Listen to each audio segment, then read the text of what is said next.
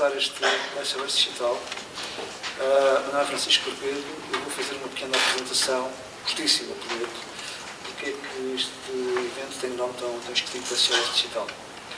Uh, a verdade é que uh, há cerca de um ano, na DigiLab, nós iniciamos um projeto, um projeto que chamamos Continuidade Digital, e cujo principal tema é como preservar a informação digital, patrimonial, caráter patrimonial, uh, de forma coletiva, de forma comum, ou seja, não de uma perspectiva isolacionista, vertical, ou de cada organização preservar o seu património digital, uh, mas sim considerar uma nova forma de abordagem a este problema, que é uma abordagem de rede uh, coletiva, comum, partilha de, de, recursos e, sobretudo, muito importante, partilha de custos. No decorrer deste uma das, uma das atividades, este projeto de continuidade digital, que vai fazer agora um ano e que está a terminar a sua primeira, a sua primeira fase, é precisamente os SOS digitais, que nós podemos chamar SOS digital. O SOS digital é um evento dirigido ao público, uh, no qual se pretendia, por um lado, uh, publicitar o, se, o, acompanhamento do projeto, aquilo que se ia descobrindo trabalho que se ia fazendo neste projeto de continuidade digital e divulgá-lo para o público e, por outro lado, abordar temáticas específicas uh, relacionadas com a preservação da informação digital e que pudessem ajudar os membros do grupo de trabalho a refletir uh, com mais informação e mais digamos, propriedade sobre as diversas, muitas problemáticas que há no que respeito a, a preservar a informação digital. Pronto, esta é a origem destes SOS digitais, já foram organizados vários, não tenho ideia quantos, quantos, quantos já foram, mas já foram dezenas, creio eu. Ah, e porquê é que fizemos isto com o património sonoro e fonográfico? Isto, por outra questão paralela, uh, nós desenvolvemos, para além do projeto de continuidade digital, um outro projeto chamado, talvez impróprio, inapropriadamente multimédia, mas o nome também não interessa muito para aqui, uh, cujo propósito era, é uh, identificar no, nos arquivos nacionais, desde o Nacional do Retombo e nos arquivos distritais e no Centro Português de Fotografia, aquilo que nós convencionamos chamar no meio de, no âmbito deste grupo de trabalho, de suportes especiais. Ou seja, tudo aquilo que não for papel, pergaminho e fotografia, que eram as três grandes áreas onde, está, onde há conhecimento instalado, produzido e, capacidade instalada para preservar, para tratar, para processar estes tipo. Mas, uh, o que acontece é que durante muitos anos foi entrando no Arquivo Nacional do Retorno dos Arquivos Digitais diversos todos os tipos de material uh, que não estavam, por razões várias, nomeadamente talvez a mais poderosa delas seja o desconhecimento, como fazer, como lidar com estes suportes especiais. Mas estavam, não estavam, não tinham sido processados. Nem sequer sabia exatamente, quantitativamente ou qualitativamente, o que é que existia. Portanto, o objetivo deste projeto é uh, precisamente uh, identificar, uh, identificar aquilo que existe, definir uma solução para preservar e acessibilizar esse material, preservar, processar, descrever e acessibilizar esse material e também, obviamente, criar boas práticas para que no futuro se saiba exatamente como proceder quando se receber, eh, no âmbito de incorporação, incorporações, uh, material desse tipo. Curiosamente, uh, tenho aqui alguns dados interessantes. Nós temos já milhares de objetos modificados. Uh, áudio, qualquer que seja o suporte, bobina, cassete, etc., temos 71,5%. Uh, vídeo 17,4% e dados, dados informáticos 3,2%. Curiosamente, o áudio ganha de longe uh, na, quantidade, não sei se na qualidade, uh, relativamente ao material que foi identificado. E, portanto, no âmbito deste projeto, tivemos contato com várias pessoas, nomeadamente do Instituto de Etnomusicologia da Universidade de Nova, uh, que nos, ajudaram, não só, mas pessoas que aqui vão falar, nomeadamente da RTP, eh, que nos ajudaram e continuam a ajudar neste processo de levantamento e análise e estudo sobre este tipo de material. E pensamos que era boa ideia organizar uma SOS digital uh, sobre o tema património fonográfico, sonoro e fonográfico. Até porque uma razão muito simples é que uh, uma das conclusões que nós estamos a chegar é, é, é o encerramento de um círculo. Nós temos material, em grande parte analógico, áudio e vídeo, e muito provavelmente a solução de preservação vai ser a transferência para o digital, sendo que isso vai confluir com o projeto de continuidade digital na medida que os novos objetos digitais assim obtidos também precisam de mostrafação. E, portanto, digamos que é um, dois projetos com pontos de contacto fortes uh, e que, uh, portanto, carecem, obviamente, de análise e debate uh, parte de, interno, tanto internamente como externamente, por parte da comunidade, das diferentes comunidades de prática que trabalham com estes objetivos. E assim, a conversa acabada, ia passar uh, para discutir antes. Uh, este evento são completamente informais. Portanto, a ideia, normalmente tem menos gente a falar. Hoje temos um programa um bocadinho preenchido. Uh, e, portanto, o que vai acontecer é que vou falar a todas as pessoas. Eventualmente vamos fazer um pequeno intervalo, eu depois digo quando, depois da, da, da, do ponto 2 do programa, um pequeno intervalo de 10 minutos. E, no fim de tudo, haverá um debate aberto para que as pessoas poderão dirigir as perguntas, uh, questões, soluções, o que quiser. Posto isto, António, vai falar sobre o primeiro tema, que é o património sonoro, delimitação do objeto dos seus problemas. O António Tili trabalha no Instituto de Antropologia, Centro de Estudos de Segurança, onde é responsável pelo laboratório nome. Boa tarde. Essa apresentação também convite para participar neste debate, nesta discussão, neste, neste momento de, uh, público que é raro sobre a fonografia. Uh, começo por dizer que enfim, que todos sabemos, não, nós não temos um arquivo nacional, uh, há razões para não termos um arquivo nacional. Mas também nós estamos a valorizar, e não temos valorizado, no sentido geral do Estado, não temos os governos, a política pública, não ser interessado sobre a fonografia. Aliás, o que tem acontecido é que ela está inclusivamente ausente de qualquer discurso.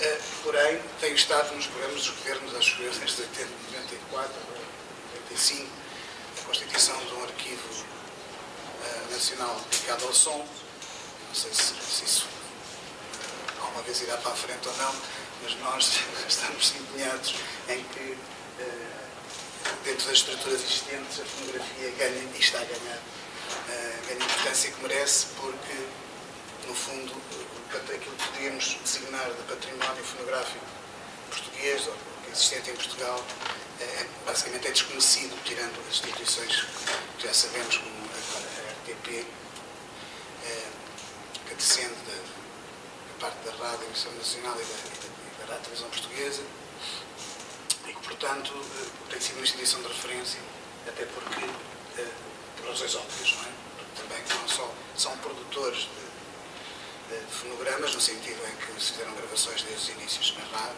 seja música, palavras, etc., que produzem fonogramas, eh, e que também eh, difundem, como são a indústria do som, eh, difundem fonogramas que estão, produzidos no âmbito comercial, portanto, no âmbito da indústria fonográfica, nesse sentido. Portanto, a, a questão principal é, tem a ver com o estado daquilo que nós vamos designar, que estamos a designar património sonoro e fonográfico. É, é claro que uh, este, este entende-se por património, já neste momento já, já entendemos isto como um processo, um processo de patrimonialização, portanto, o que é, que, é, que é considerado ou não património, não é? isso tem vindo a mudar ao longo dos anos, e portanto um, há um início, eu acho que o Pedro vai falar, vai abordar essa questão, sempre na experiência que tem, Pedro Félix vai abordar essa questão, sempre na experiência que tem no Museu do Fado, com a coleção do Museu do Fado, mas de facto um, tem, tem existido é um, um, crescente interesse e, e, portanto, um empenho em considerar o documento sonoro, o fonograma, uh, como documento histórico, uh, pelos historiadores, uh, como, como documento que está, digamos, ao mesmo nível dos documentos, digamos, tradicionais, apesar de serem considerados suportes especiais. Não é? Portanto, documentos especiais. Bom, eu, eu dava início a uma para esta delimitação do problema. Claro que muita coisa ficará de fora, há aqui especialistas de todas as áreas, portanto não vale a pena estar aqui a aprofundar nenhum tema do ponto de vista técnico uh, e tecnológico. Um, esta era a pergunta que eu estava a fazer, qual é o estado? Nós, nós não temos ideia, nós estamos todos a trabalhar, acho eu, uh, muita gente aqui que está a trabalhar em coleções e que, portanto, tem a sua experiência, seja no campo do, da descoberta, do levantamento, seja na área já do restauro, eh, com tecnologias anteriores ou, ou, ou, mais atualizadas. Enfim, portanto, essa é a pergunta que queríamos responder e, e, não vamos conseguir responder para já. Eu vou voltar aqui ao início. Uh, atenção. Eu, eu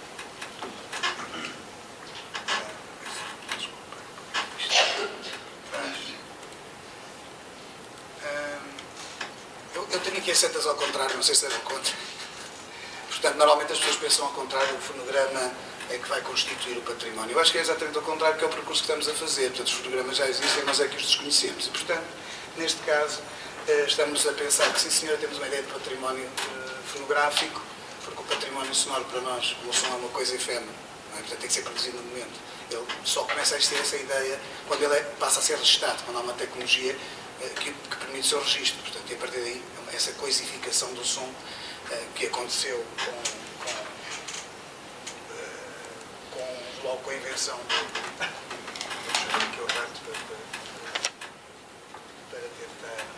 logo com a invenção do fonógrafo,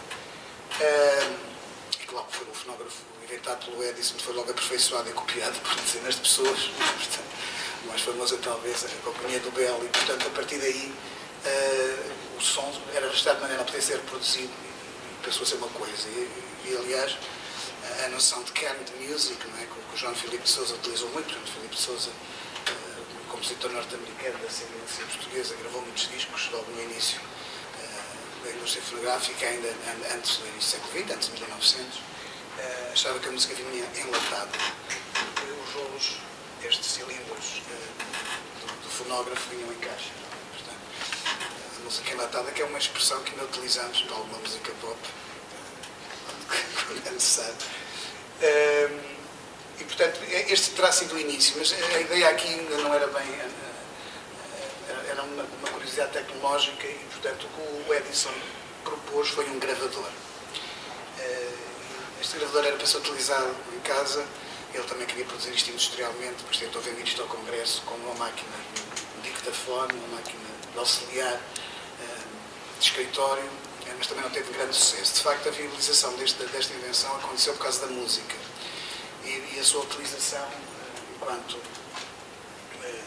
Connie da Slot Machine, portanto, como uma jukebox, é? como atração, enfim, curiosidade. De qualquer forma, começaram a ser produzidas as primeiras gravações. É? Existem muitos rolos eh, deste período, não em Portugal, ou, ou, em Portugal, mas não sobre eh, coisas gravadas em Portugal.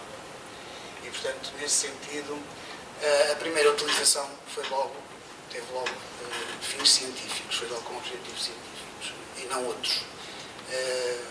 A maior parte dos nós vamos chamar etnólogos agora, não é? etnógrafos, do final do século XIX, começaram a utilizar a gravação uh, para produzir, como auxílio de trabalho terreno, de investigação, portanto, especialmente no estudo da língua, das línguas, aqui vemos a Frances Densmore a gravar o Blackfoot, é uma gravação importante, uh, que eu acho que está na Biblioteca do Congresso americana, uma gravação de 1916. Bom, isto vai dar origem, como nós vemos, portanto, temos aqui o, o resultado disto, é este, é este cilindro. Este é que é o fonograma que, que nos interessa, nesta primeira fase. E, de facto, interessou, não a nós, portugueses, não interessou muito, mas a maior parte das pessoas que tinham uh, investigação onde, os países que tinham investigação onde havia investigadores no início do século, uh, foram constituídos, foram eles que contribuíram para a constituição dos arquivos. E, portanto, os primeiros arquivos existentes são arquivos científicos. É o caso do fonograma arquivos de Viena ou, ou de Berlim, eh, que são, acho eu, respectivamente 1899 e 1900. Hum, portanto, eh, estes, estes, estes arquivos fonográficos de caráter científico ainda, ainda, se mantêm hoje, estão em funcionamento, continuam a preservar as suas coleções e o acesso, e portanto são basicamente visitados por investigadores na área da língua, na área da, da música, isso daí a ligação da etnomusicologia a estes arquivos, portanto, que vem do início do século XX. A grande parte da, da, da investigação no campo da etnomusicologia o campo da etnomusicologia é muito fácil de definir, é o estudo não do som, não das obras musicais, mas das práticas que podem resultar ou não em obras. As pessoas tocam, fazem sons. É essas práticas que nós estudamos e está muito ligado à noção de património material, não é? porque nós aqui poderíamos fazer uma ligação. Ah, o património material é o fonograma, é um objeto património material de uma forma simplista, serão as práticas das quais resultaram eh, os sons que depois foram registados. É? Portanto, há uma, uma, visão básica. Por isso é que os antropólogos e os etnopsicólogos estudam basicamente práticas e não obras. Não há noção de obra musical, não é central nesse caso. E, portanto, este registro do som, para estudo posterior no laboratório, tornou-se fundamental. Por outro lado, ao mesmo tempo que, que o Edison e os seus concorrentes entravam em acordos para tentar vender e implementar o, o cilindro, eh, um alemão eh, que estava na Alemanha na altura, como é óbvio, e depois migrou para os Estados Unidos, propôs um sistema ligeiramente diferente em disco, não é? Esse sistema eh, já não era um gravador, portanto, o sistema de gravação era também feito de uma forma semelhante no disco, mas não era a mesma máquina que fazia as duas coisas. Apesar de terem sido propostas máquinas que faziam as duas coisas mais tarde, mas de facto o que ele pensou foi num sistema de reprodução é? portanto, e, e, e, desenvolveu toda a sua atividade assente eh, na, na gravação de música. Aliás, a ideia era gravar toda a música. Portanto, eh, teve funcionários Berlim tem funcionários que enviou para, para a Europa e para zonas onde quis implementar este negócio para gravar a música local.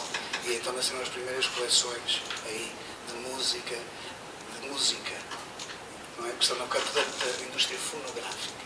Não tem nada a ver com o fonógrafo, apesar de também ter acontecido com o fonógrafo, porque o Edison e os vendedores de fonógrafos eh, tentaram fazer a mesma coisa para combater o Berliner. Uh, não foi suficiente, apesar do fonógrafo ter mantido até 1919, enfim, no mercado, mas foi utilizado como gravador em zonas remotas sem eletricidade, nada eletricidade. Uh, foi utilizado até os anos 40 e, só, e de facto só foi substituído uh, pelo gravador de fita. grosso modo, não é? Casos. Portanto, exatamente no final da segunda metade dos anos 40. E portanto nós temos, neste caso, temos aqui algumas fotografia, enfim, para não estar a falar em seco, do Berliner com o protótipo, um dos seus protótipos do gramofone. Eh, esta ideia é genial porque o Berliner tem a patente da gravação e dos discos que faz. Portanto, ele, para vender gramofones, tem que fazer os discos. Portanto, o Edison vende, vende um gravador para as pessoas gravarem. O Berliner não. Berliner vende um, um reprodutor e ele é que faz os discos. Portanto, ele controla essa tecnologia. E isso é o definidor, é um elemento essencial, definidor da indústria fonográfica. Um, aqui a uma fotografia do Caruso já a ouvir-se numa vitrola, que é já um gramofone que não tem nenhuma campana, já tem outro sistema de projeção do som, por volta de 1910, 1912, até mais tarde. Isto é um disco que nós todos conhecemos, não é um disco de vinil, não é? Não vamos falar destes assuntos aqui, não temos tempo, também há especialistas que acham na plateia sobre este assunto, sobre esta matéria. Isto é basicamente um disco que variava das rotações, os sistemas eram, não havia eletricidade envolvida nisto, não havia motores elétricos, desenvolvimento posterior nos anos 20, e portanto, basicamente é um disco uh, uh, enfim, uh, funciona quase como um cilindro, mas com vantagens e desvantagens, mas a primeira vantagem é comercial. O disco é fabricado por prensagem, portanto, o mesmo molde é? dá para fazer muitos discos rapidamente. Portanto, que é esse o objetivo da indústria, é produzir cópias. Uh, além da indústria fonográfica, que vai dar origem aos, a outros a, outro tipo de arquivos, uh, também temos o aparecimento da, da, rádio com a eletrificação do som, com esse fenómeno da transdução, uh, a rádio que se vem desenvolvendo nos anos 10 a partir do desenvolvimento do telefone. O telefone vem, é do século XIX, mas sem amplificação. A amplificação aparece só em 1901, por causa da válvula termiónica. A sua utilização para amplificar o som é fundamental, portanto, a eletrificação está ligada à amplificação do som, essencialmente. Eh, as próprias rádios que começam a surgir eh, captam também, eh, fazem as suas captações e logo aparecem sistemas eletromecânicos para gravar especialmente em disco. O disco acaba por ser uh, o, disco, o famoso disco instantâneo, que nesta altura era, era produzido com, com vários materiais, uh, não havia ainda, mas nós chamamos de discos de acetato, portanto são discos, uh, são sistemas de gravação carrados utilizados até os anos 40, 50 talvez, é? também só foi substituído pela fita. Mas isto quer dizer que as próprias rádios é, tornaram-se produtores de fonogramas, não fonogramas comerciais, mas faziam gravações próprias para eh, depois eh, emitir os programas. Mais tarde, replicá-los. aconteceu com a nossa emissora nacional, desde 1935 tem um sistema eh, de gravação, de transcrição e de gravação em disco. É? Acho que a máquina está no museu. Tem várias máquinas. Portanto, a rádio em si acaba também por constituir, não só utilizando, num debate que é muito interessante até aos anos 50, não só utilizando os discos que a indústria fonográfica produz, não é? E que a rádio não controla, apenas seleciona, uh, mas também fazendo gravações locais, uh, porque a rádio de facto aparece como um meio tecnológico de ampliação das audiências. O evento ocorre num local, seja o show da rádio, seja num teatro, onde há uma apresentação musical ou outra, e a rádio vai lá e transmite. E, portanto, a audiência não, é, não está limitada ao teatro, à audiência do cine teatro. Está, é uma audiência que vai, chega à casa das pessoas. Portanto, o som chega à casa das pessoas, as pessoas ouvem o rádio Portanto, ampliam-se as audiências. Este é um sistema interessantíssimo da própria rádio, que eu acho que se está a retomar agora na RTP2, que é, como, nestas transmissões que tem feito recentemente o CCB, dias da música e coisas assim. Nós não podemos ir ao CCB, mas podemos sintonizar e ouvir o concerto em casa. Coisa que, ultimamente, nos últimos anos não tem sido muito frequente.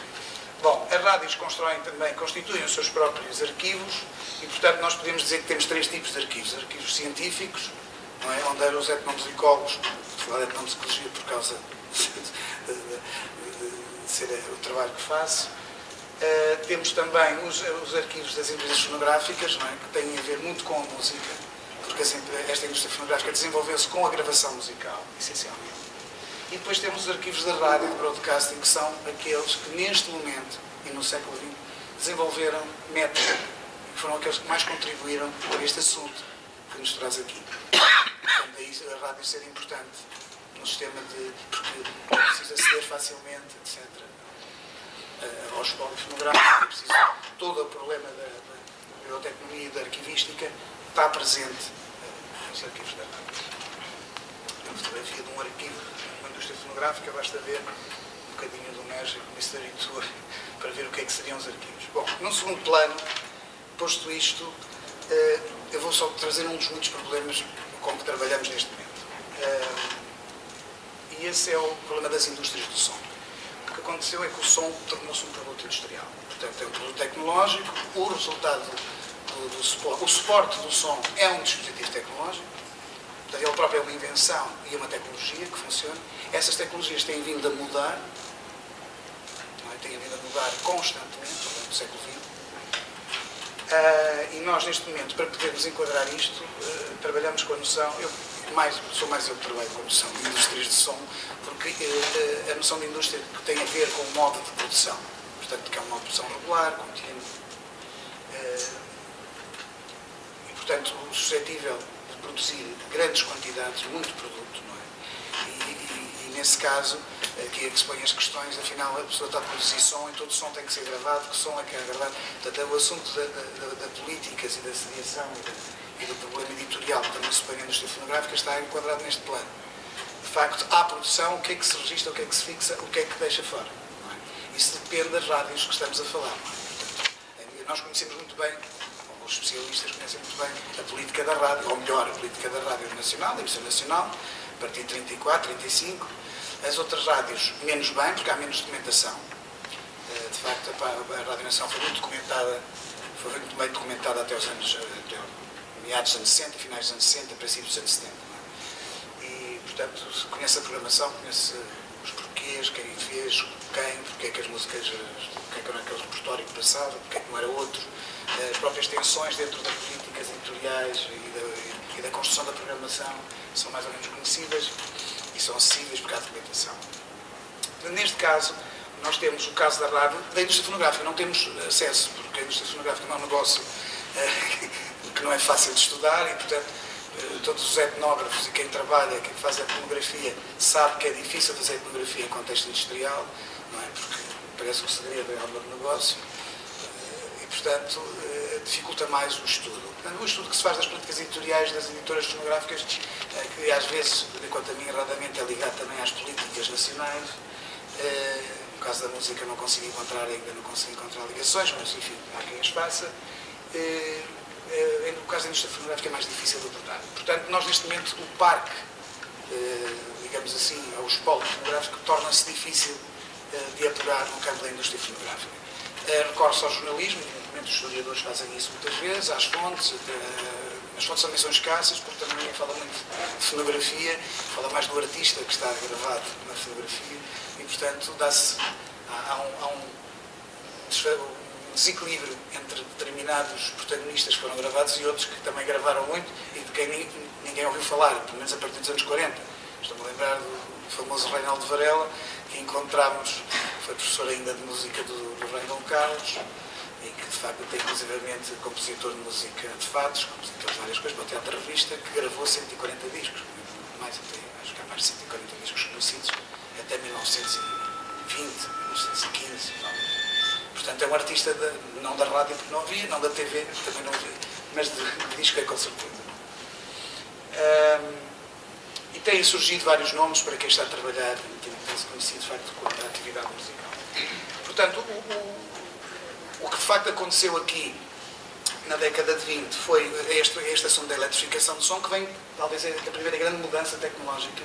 Portanto, tudo o que temos gravado antes de 1925, 26 é gravado, aquilo que nós chamamos de gravações acústicas, é gravado apenas mecanicamente, portanto, não há apoio nem, nem, nem, nem reforço eletromagnético, nem nem nada desse tipo. É, a gravação elétrica começa nos anos 20, aparece microfone, não é? Portanto, as pessoas já não precisam projetar a voz, podem cantar baixinho, não é? E daí os Frank Sinatras e os Nat King Coles, que depois ganharam a designação de crooners no jornalismo.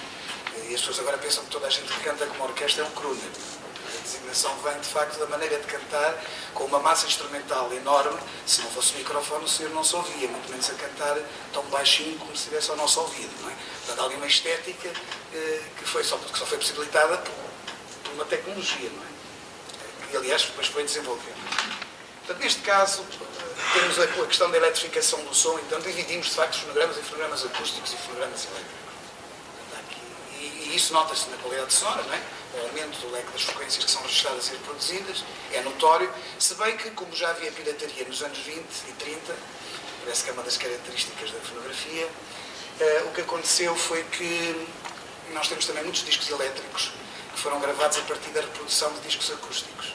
Puseram um microfone na campanula do disco acústico, o gramofone, e fizeram uma gravação elétrica de um disco acústico.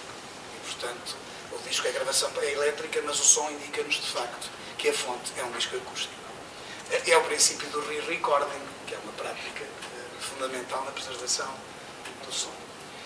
Portanto, eh, o que aconteceu depois remete para a história das tecnologias do som, que, está, que é conhecida, que está bem divulgada, eh, nacional e internacionalmente. Nós cá em Portugal não temos ainda uns estudos eh, sobre as próprias tecnologias do som, porque ninguém reparou no som em si.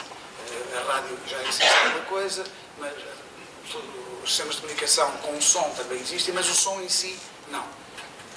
E, portanto, temos aqui o caso de, de, de, desta esta mudança nos anos 20 e depois outra grande mudança eh, com a introdução pós-guerra eh, da divulgação da fita eletromagnética, da gravação eletromagnética. Claro que em Portugal as primeiras gravações que, que, que penso eu que foram feitas foram eletromagnéticas foram pelo Armando Lessa em 1939, que aliás está prestes a sair, estão prestes a ser publicadas.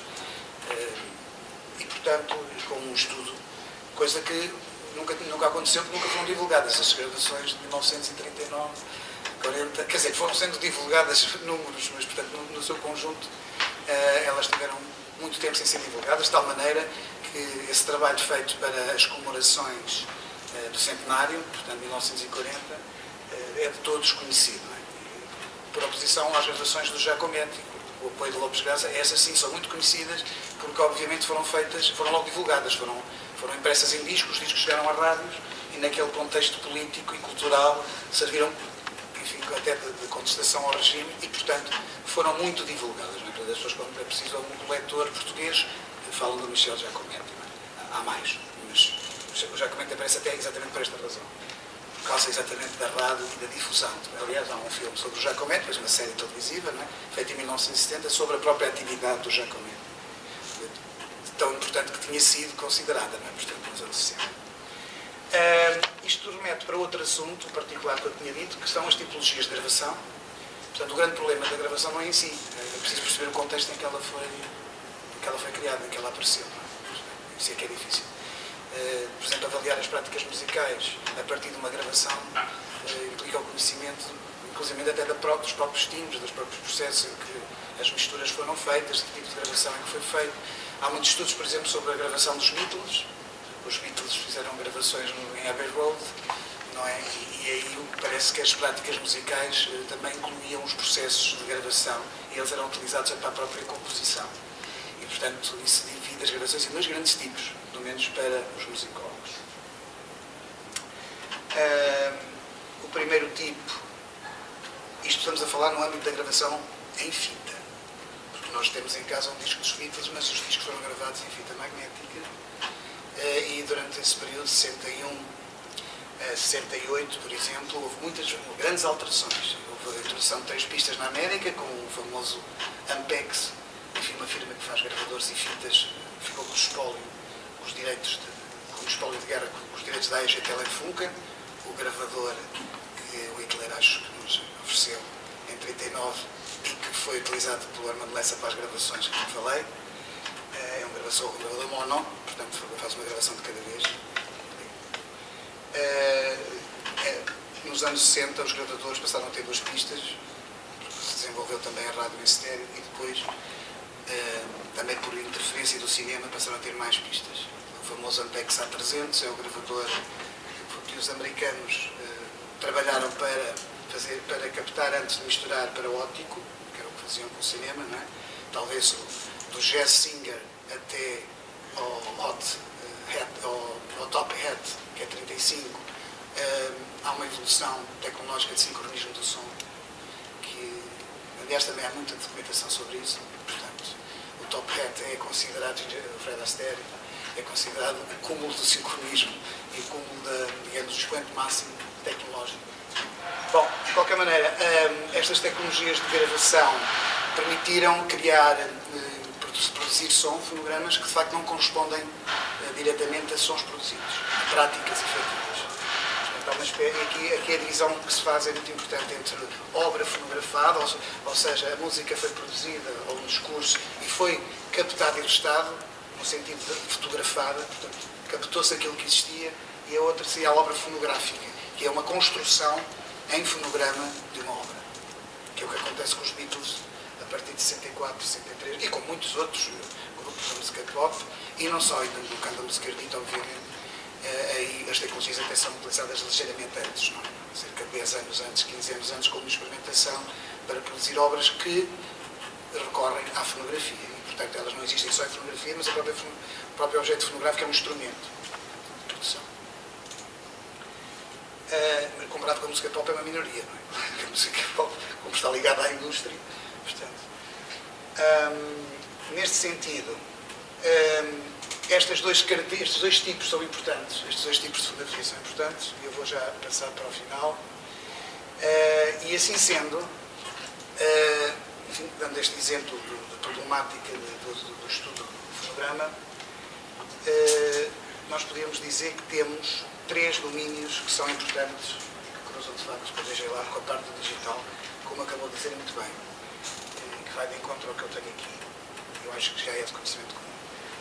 Eh, uma coisa é ter os suportes tecnológicos que são enfim, trabalhados como a tal, a tal parte material do som, não é? É o que temos, são suportes tecnológicos, são objetos, é uma parte física, sobre as quais nós poderemos ter várias ações, temos que preservar, vamos mantê-los, alguns têm 120 anos, eh, como é que alguns são legíveis, outros são deteriorados, e portanto a noção de preservação, de restauro e de arquivo opera neste, neste campo do suporte original, uma espécie de base de fóssil. Nós temos discos que são autênticos fósseis, não é? porque é preciso tirar essas camadas todas para tentar descobrir lixo acumuladas por 110 anos, para depois tentar encontrar a forma de ler, pôr as estrias à mostra e pôr, pôr tudo como deve ser.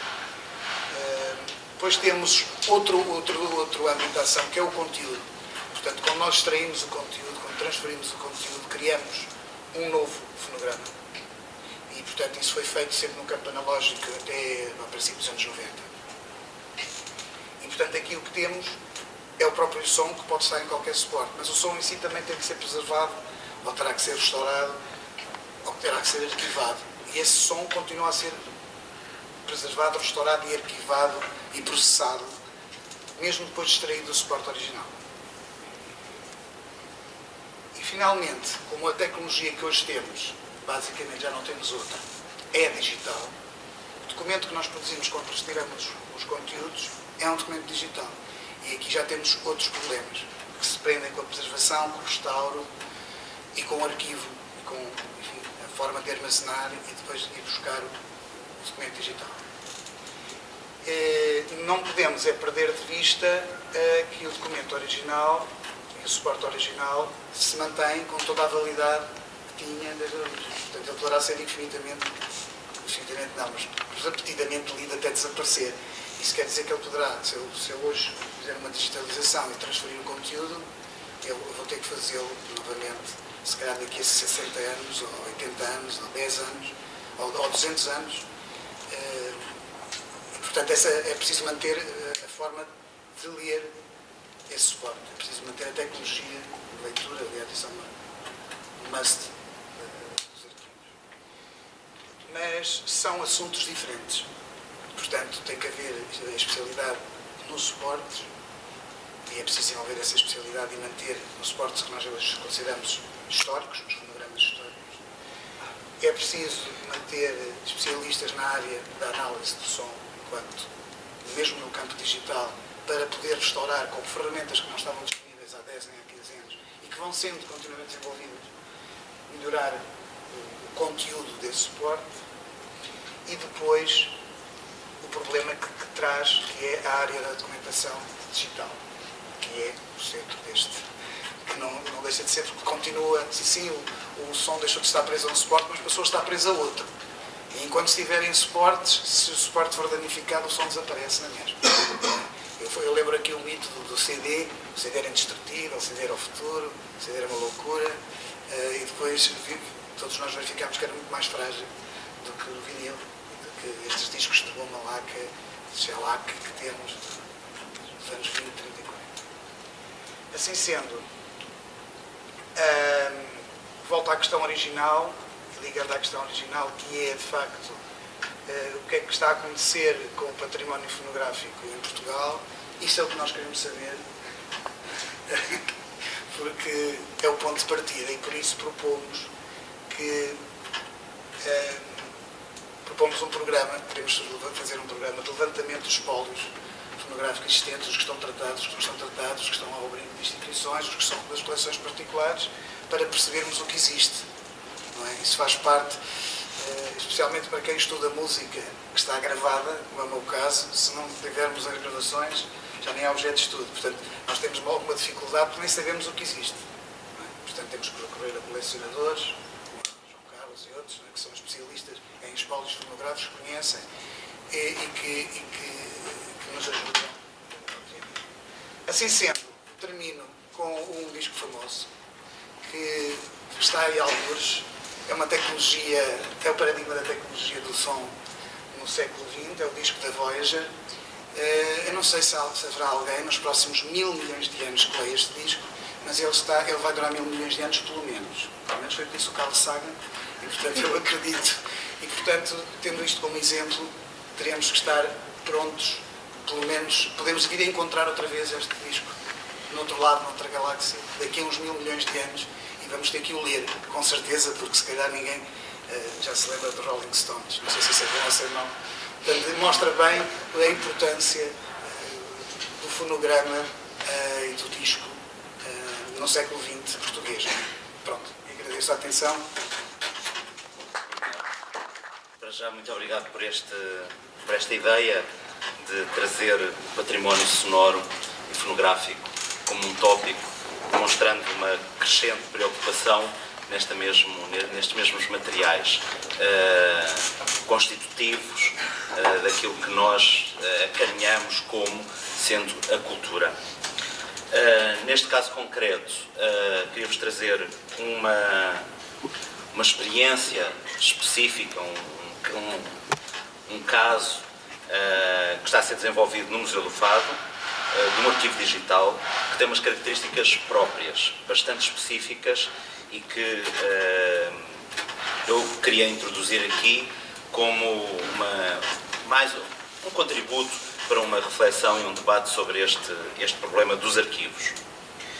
Uh, basicamente, este projeto do arquivo digital do Museu do Fado, e eu vou-lhe chamar arquivo digital por facilidade, um, é, é, um projeto que, que, visa constituir, de facto, um arquivo digital que trate arquivisticamente, estude e distribua fonogramas históricos associados à prática e ao universo do fado. Uh, obviamente que este processo, este projeto, enquadra-se uh, na candidatura do FAD a Património da Humanidade, no programa de atividades do, FAD Património da Humanidade, que foi lançado em 2005 uh, e que desde aí tem sido desenvolvido neste momento uh, no âmbito do plano de salvaguarda, no âmbito do Museu do Fado e com a parceria técnica do Instituto de Etnomusicologia. A primeira etapa começou logo na altura da, da preparação do dossiê de candidatura. Um, e daí eu queria trazer, um, muitos de vocês estão familiarizados com estes uh, tópicos do património imaterial, mas eu acho que era importante referir aqui algumas ideias que nos ajudam a pensar eh, este processo e, de certa maneira, as nossas opções uh, estratégicas e metodológicas. Uh, Desde logo, eh, todos os especialistas convocados pela Unesco para definir os documentos que iam regular este tipo de património mobilizaram-se por uma razão muito simples. Eh, notavam como inelutável o processo de globalização. Então queriam reforçar, contrariar, de certa maneira, uma certa cultura hegemónica ocidental do hemisfério norte sobre todas as, as restantes culturas do mundo.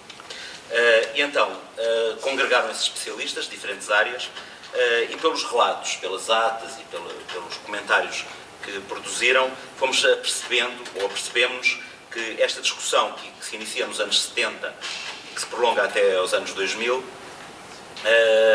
foi tudo menos pacífica.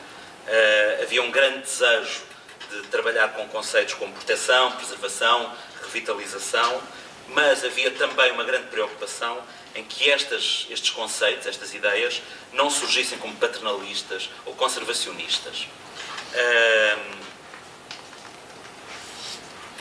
A solução encontrada passou por reforçar, por focar a atenção deste, destes procedimentos nos processos, nas comunidades e na salvaguarda. Estas serão talvez as três grandes ideias que uh, decorrem de, do, do, do, do projeto da Unesco do Património Imaterial. O que é que se entende por património imaterial? Eu vou citar a Convenção, porque é bastante clara.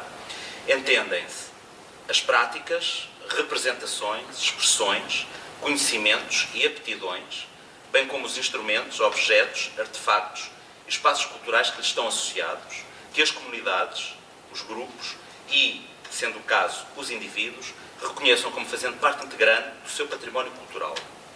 Esse património cultural e material, transmitido de geração em geração, é constantemente recriado pelas comunidades e grupos em função do seu meio, da sua interação com a natureza e da sua história, incutindo-lhes um sentimento de identidade e de continuidade, contribuindo desse modo para a promoção do respeito pela diversidade cultural e pela criatividade humana. Este longo parágrafo, este artigo, primeiro artigo da, da Convenção, eh, traça todo o programa e, de certa maneira, sintetiza esta dificuldade que foi encontrar este common ground onde se pudesse construir uma, um, um, todo um projeto de ação. Este património material manifesta-se como? Através das tradições expressões orais, através das artes do espetáculo. Eu estou a usar os conceitos da própria Convenção. Portanto, tradições e expressões orais, artes do espetáculo, práticas sociais, rituais e eventos festivos, conhecimentos e práticas relacionadas com a natureza e o universo, e as aptidões ligadas ao, ao artesanato tradicional. Mais uma vez reforço, são conceitos que estão inscritos na própria Convenção. Como é que este, qual é o modelo de governação, digamos assim, deste, do, do património imaterial?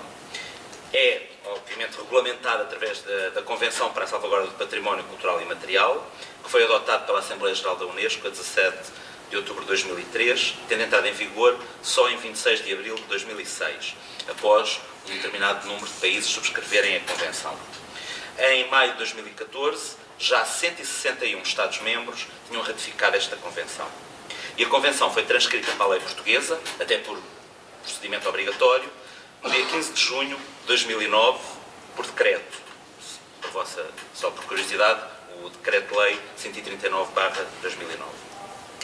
No entanto, cumpre sublinhar uh, que o património imaterial já estava calculado, quer no Decreto-Lei de 6 de junho de julho de 1985, número 13, onde se fala uh, do património cultural, seja sob a forma de bens materiais e imateriais, e também, por sua vez, uh, no uh, Decreto-Lei 107 de 2001, de 8 de setembro, a chamada Lei de Bases do Património Cultural.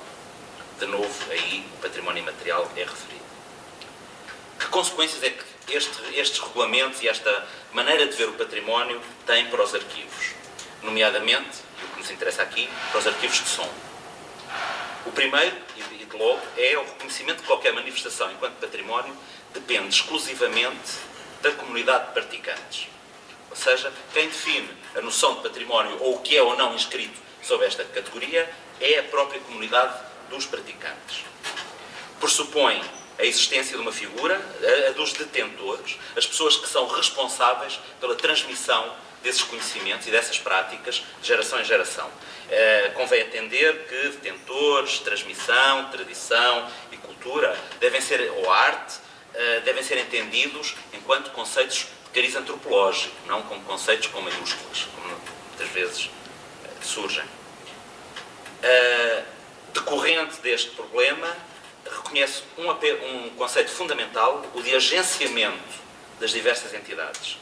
Portanto, as diferentes entidades têm capacidade de tomar decisões. Ou seja, não há uma posição passiva de alguém ou de alguma coisa nesta dinâmica. Eh, seja a nível individual ou comunitário. Genericamente, diz respeito a práticas e saberes fazer, mas também aos artefactos.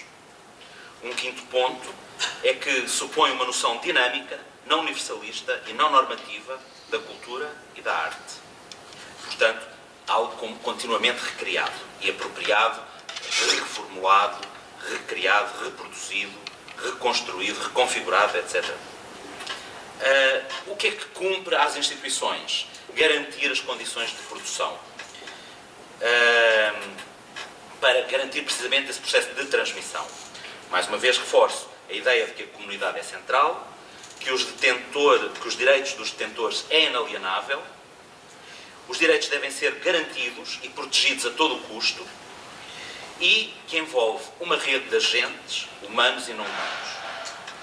Assim, no que diz respeito ao fado, a preparação do dossiê iniciou-se em janeiro de 2005 e decorreu até setembro de 2010. Há quem diga que foi muito tempo, uh, mas uh, por uma razão. Para já, o primeiro passo foi a formação de uma equipa multidisciplinar e, perante o património sonoro, fonográfico, a primeira urgência foi identificar coleções. Identificar coleções de espólios fonográficos sejam públicos ou privados, institucionais e particulares. Identificaram-se 28 instituições e 9 coleções privadas, com um significativo número de património fonográfico associado à prática do fado.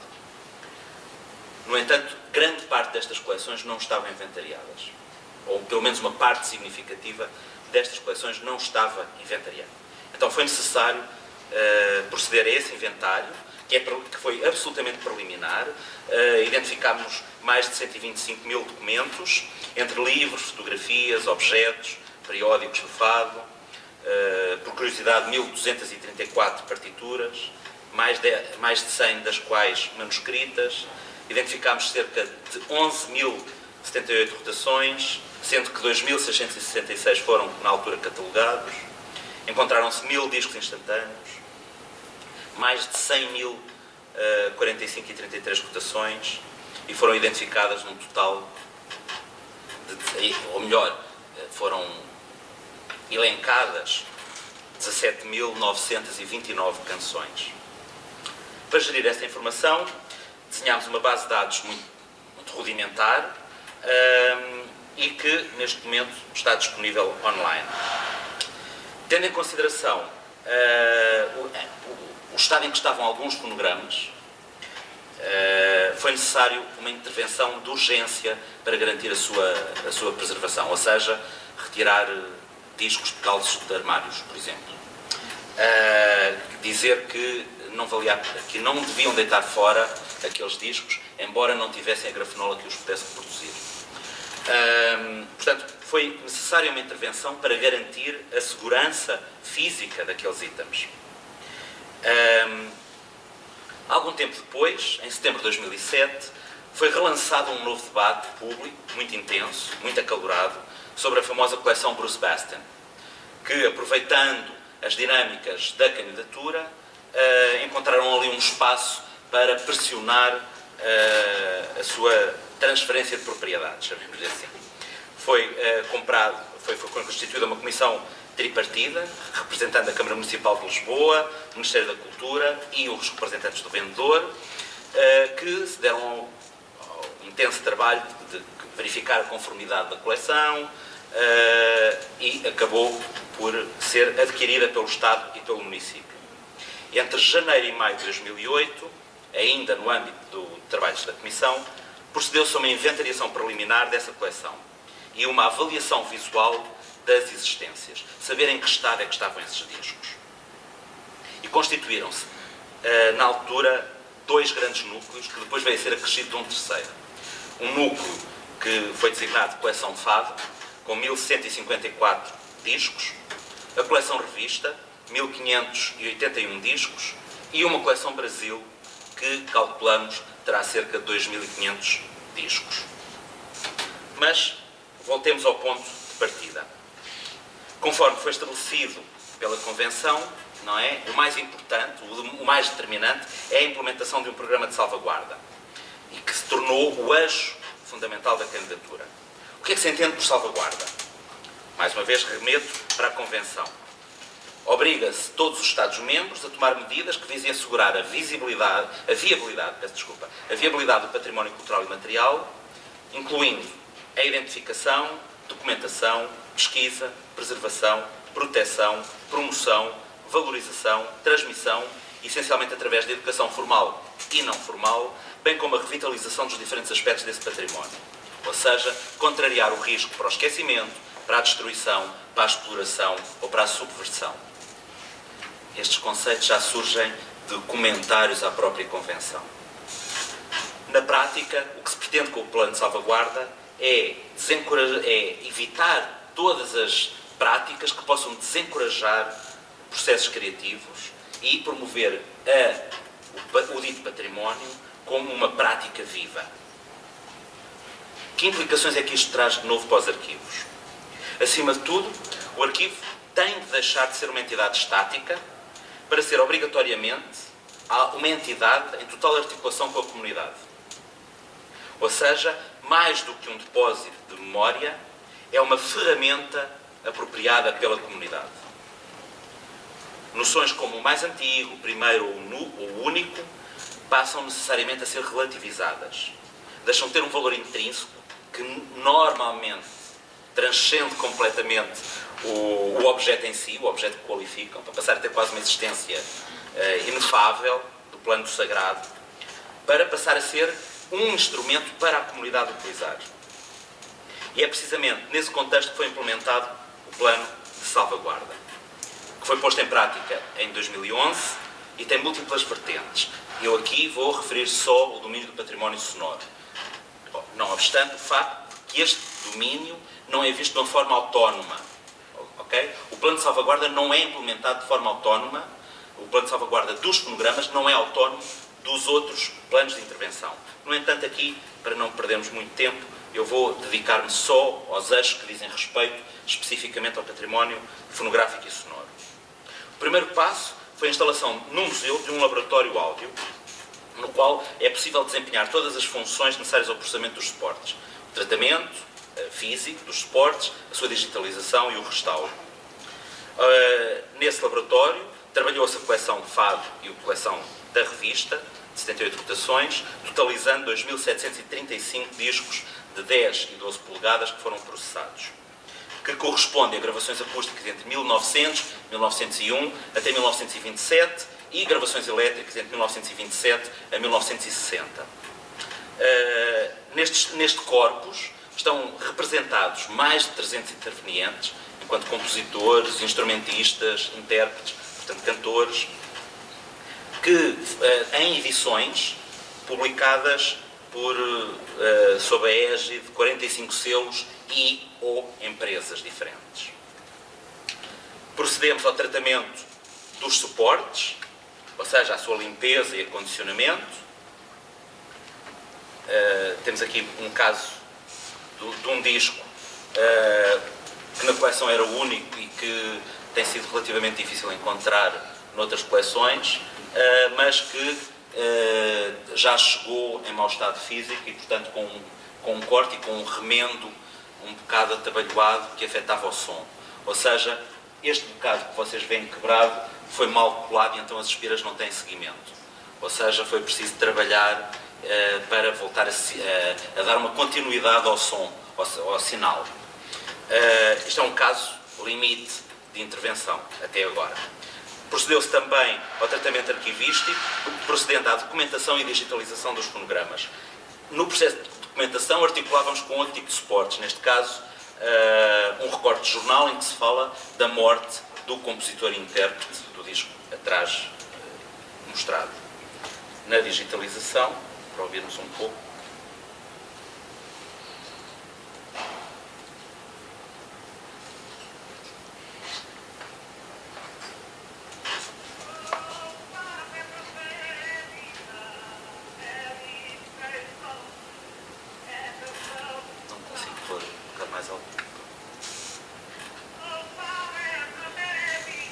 vos dar uma pequena ilustração. Uh, este restauro dos fonogramas uh, uh, dirigia-se especificamente aos fonogramas únicos e que a comunidade considerava como importante. Embora, todo, dado o estado em que os discos se encontravam, foi preciso um restauro massivo de todos os documentos. No entanto, intervenções de restauro mais detalhadas tiveram de ser feitas para os discos que a comunidade reconhecia como fundamentais para a sua própria identidade e para a sua própria história e para a sua própria prática. Um, já lá irei, já lá irei.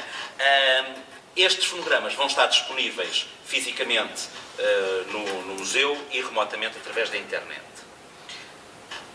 Acho que não erro muito se disser que este é um dos mais vastos uh, programas de tratamento arquivístico de património fonográfico, que teve outro, vários produtos, além do próprio processo do tratamento da coleção. Para já foram preparados uh, CD áudios, uh, diversos CD áudios. Uh, passou a haver um, uma nova abordagem à, dimensão sonora das exposições, sendo que houve um uh, trabalho de sonorização das mesmas, em pelo menos três casos, o caso da, da exposição Fado e o Teatro de Revista, uh, a futura Casa Museu Fernando Maurício e uma exposição O Som do Fado. Associado também a este processo, uh, há três grandes projetos de investigação neste momento, uns em fase de lançamento, outros já a decorrer, um, um projeto de investigação-ação chamado Etnoqui, com as comunidades eh, de estudantes eh, de liceu sobre as práticas musicais dos seus bairros.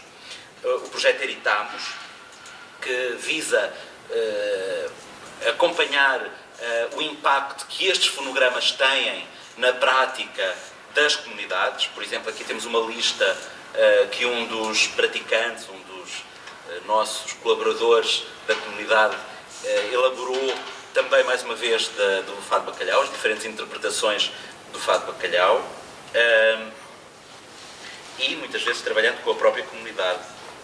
Oh, peço desculpa. Não vou conseguir também. Onde solicitamos aos intérpretes que nos falem deste mesmo repertório gravando-os. Uh, isto vai também permitir um terceiro projeto que já está a decorrer, que pretende a produção de uma, de uma narrativa musicológica uh, do som do fado. Em breve vai-se dar início ao tratamento de mais dois espólios que vão tratar, que vão produzir, calculamos, mais de 7 mil fecheiros áudio disponíveis ao público e cerca de 35 mil fecheiros que terão de ser geridos em back-office no arquivo digital. Assim, O Arquivo do Museu do Fado assume-se, para já, que a sua função, eh, como sua função central, o tratamento do espólio sonoro, fonográfico e videográfico, depositado no museu, e a sua disponibilização ao público, seja nas instalações, seja remotamente. Cumpre identificar coleções, colecionadores e espólios, junto dos quais procedeu ou procederá a inventários preliminares. Para vos dar uma noção da dimensão, este mesmo programa já uh, permitiu identificar cerca de 30 mil títulos ou repertórios associados à prática do fado. Vai, obviamente, contribuir para a consolidação do registro das autorias, com as naturais implicações diretas na gestão dos direitos de autor. Uh, e também uh, presta apoio técnico a outras instituições ou pessoas que o solicitem, nomeadamente em processo de inventariação, de catalogação, estabilização física dos suportes, nomeadamente limpeza e acondicionamento, digitalização, restauro dos suportes, dos suportes e do áudio e disponibilização, seja sob a forma de bases de dados, seja através da internet. Uh, também o laboratório tem neste momento disponível duas unidades móveis e autónomas para fazer este trabalho junto das instituições ou colecionadores que assim o desejem. Portanto, pessoas que não querem uh, entregar ou emprestar os seus espólios, podem elas acolher os laboratórios para que esse trabalho seja feito nessas mesmas instituições. E visamos aquilo, como disse o António, que é fundamental, garantir a permanente legibilidade de diferentes suportes. Discos a 78 rotações, discos em vinil, discos instantâneos, discos de transcrição, discos não tipificados, seja a diferentes velocidades ou diferentes dimensões, suportes digitais, que às vezes nos esquecemos que eles próprios perdem a legibilidade muito, tão rapidamente ou mais que os suportes de 1900 consigo mais facilmente encontrar neste momento uma grafenola para ler uma, um, um, disco 1900 do que uma, uma, um reprodutor de digital 8, de cassetes digital 8. Um, fita magnética, seja qual for a velocidade ou a dimensão da fita, cassetes, normais ou microcassetes, vários suportes vídeo, sendo que os suportes mais antigos e raros, como os cilindros de cera, são tratados normalmente em cooperação com outras instituições congêneres estrangeiras, até porque o universo, o parque, digamos assim, de cilindros de cera não é significativo para justificar esse investimento. Também cumpre ao museu produzir investigação nova sobre a arquivística do som e temos trabalhado sobre a metadata, processamento digital, transferência de suportes, restauro, bases de dados, ferramentas de distribuição áudio estudos e investigação sobre o som gravado, obviamente registado em suportes históricos, uh, informática da análise do som, uh, em consórcio com instituições de investigação internacionais, e fornecer um serviço de gravação, um pouco como a emissora nacional também tinha, uh, fornecer um serviço de gravação aos intérpretes que o desejem. O que é que será o futuro deste projeto? E aqui concluo com toda esta estrutura montada, com este conhecimento adquirido, neste, o futuro que, que antevemos é basicamente de dimensão estratégica, uh, que é especialmente significativa, tendo em consideração a rede de relações institucionais e pessoais que foram sendo estabelecidas ao longo de quase uma década. E, consequência também da inexistência de uma instituição nacional, uma estrutura arquivística dedicada ao som cientes, obviamente, desta, do investimento que foi mobilizado, investimento financeiro, tecnológico, de recursos, pelo Museu do Fado. Uh, o Museu do Fado posiciona-se no sentido de participar no programa SOS, uh, ah, de que o António já falou. Uh, vai necessariamente reforçar a integração do som no, no espaço expositivo. está envolvido em consórcios internacionais para o estudo acústico dos sons dos discos. Uh, pretende publicar protocolos para o tratamento do som, nomeadamente relatando a experiência uh, do tratamento deste, deste espólio que, que vos falei, e desenvolver ele próprio ferramentas para o restauro desse mesmo som. Pretende, obviamente, expandir a coleção de fonogramas, aumentando, obviamente, o conhecimento do universo da música gravada em Portugal.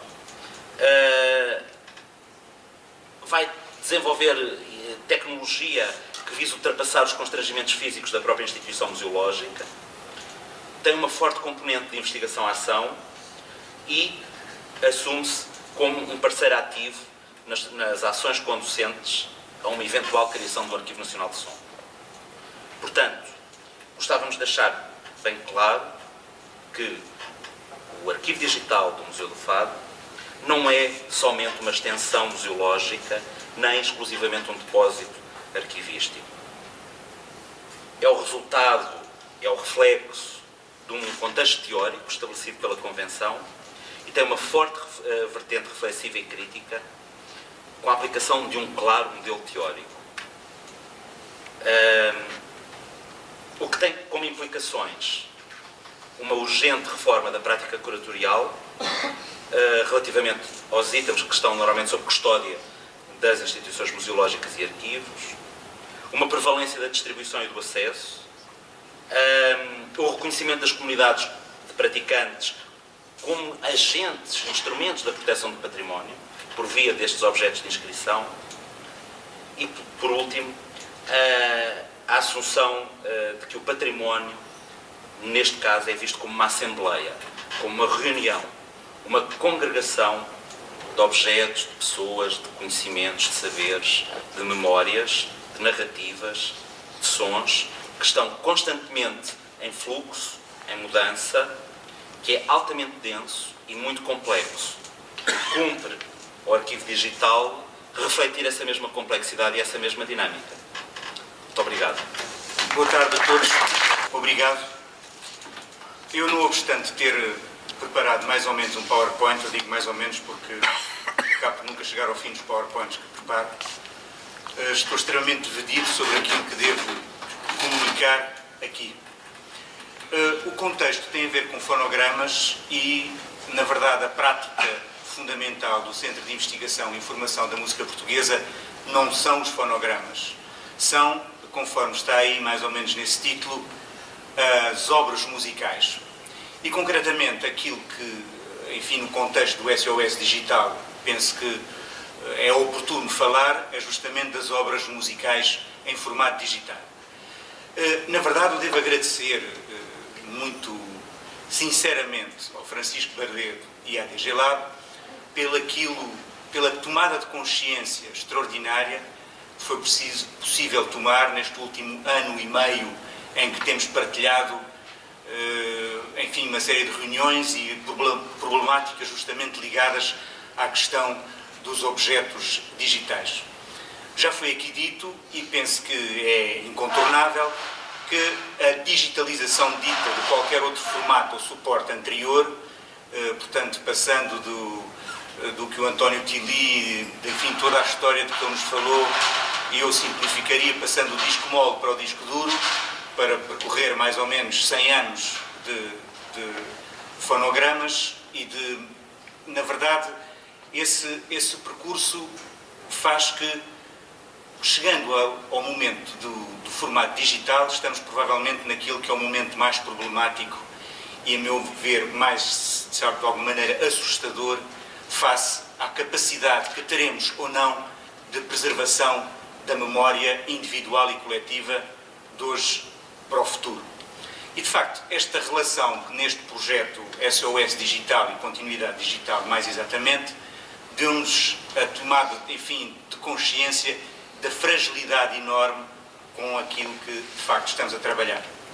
Os arquivos, eh, eu vou só antes de entrar mais nos detalhes desta problemática, no que nos diz respeito, concretamente, ao Centro de Investigação e Formação da Música Portuguesa, dizer-vos que o Centro de Informação uh, foi criado aqui em início dos anos 2000, ao abrigo do POC uh, e do POSI, peço desculpa, e mais tarde do POSC.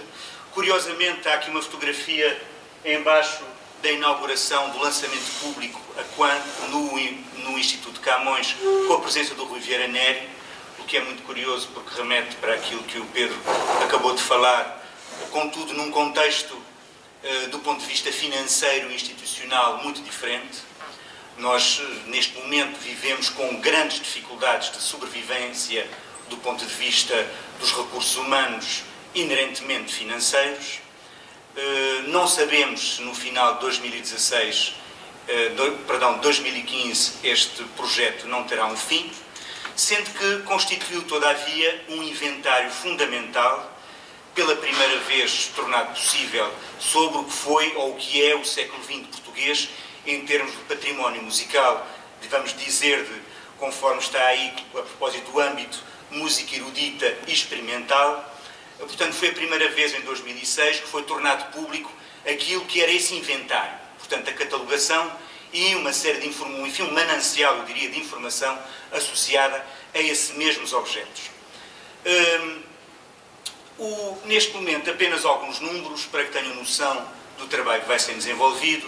Entre 2009 e 2014, o site ou portal do MIC.pt, associado a uma rede que é a International Association of Music Information Centers, deu o seu nome enquanto URL de MIC.pt, portanto, Music Information Center.pt, portanto, de Portugal.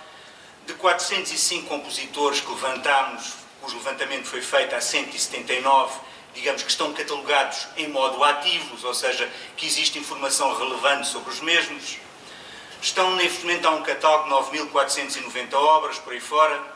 Eh, estão neste momento disponíveis online 903 partituras de 52 compositores do século XX e XXI portugueses e por aí fora. E uma série de registros áudio e, e, e vídeo, etc. Porque, mas enfim, o registro eh, que no fundo é a problemática principal da, do SOS digital de hoje, o registro enquanto tal não é, digamos, o nosso objeto principal de trabalho, mas sim a obra musical.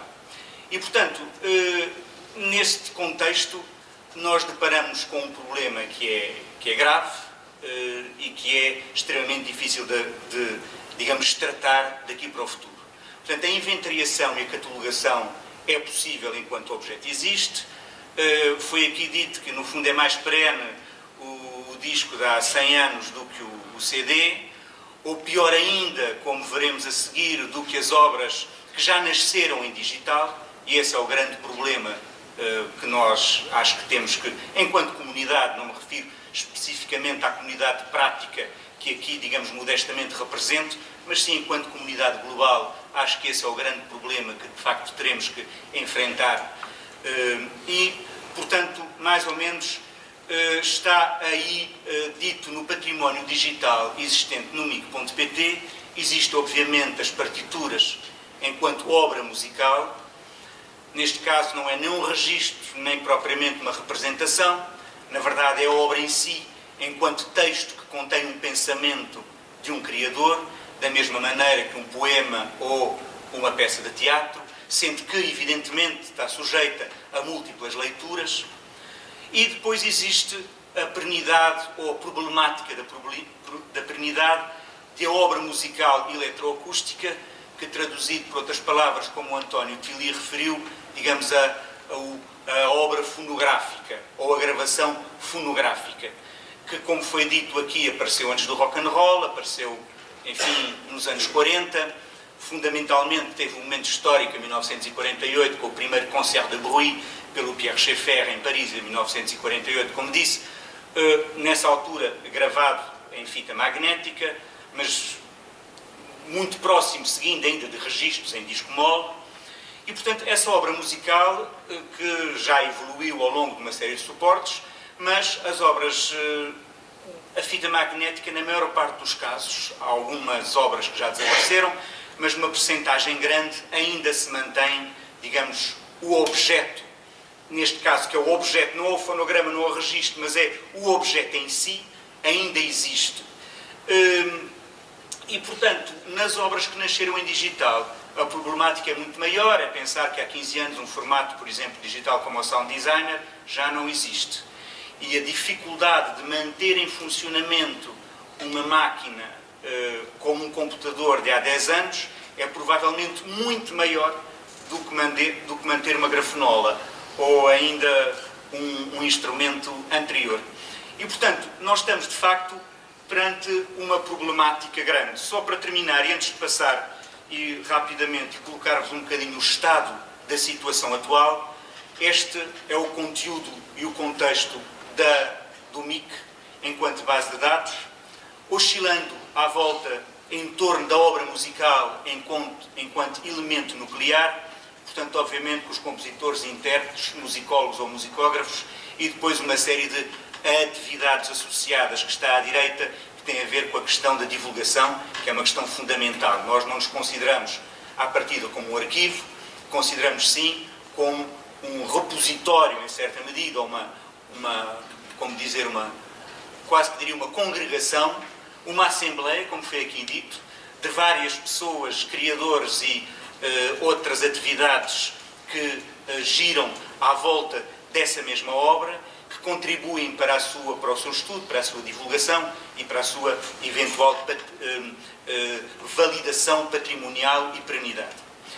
E, portanto, neste contexto, nós temos, na verdade, a obra musical identificada como nuclear, é uma obra musical com partitura, é uma obra musical sonora ou visual, é uma obra em código ou é uma obra que mistura várias destas coisas.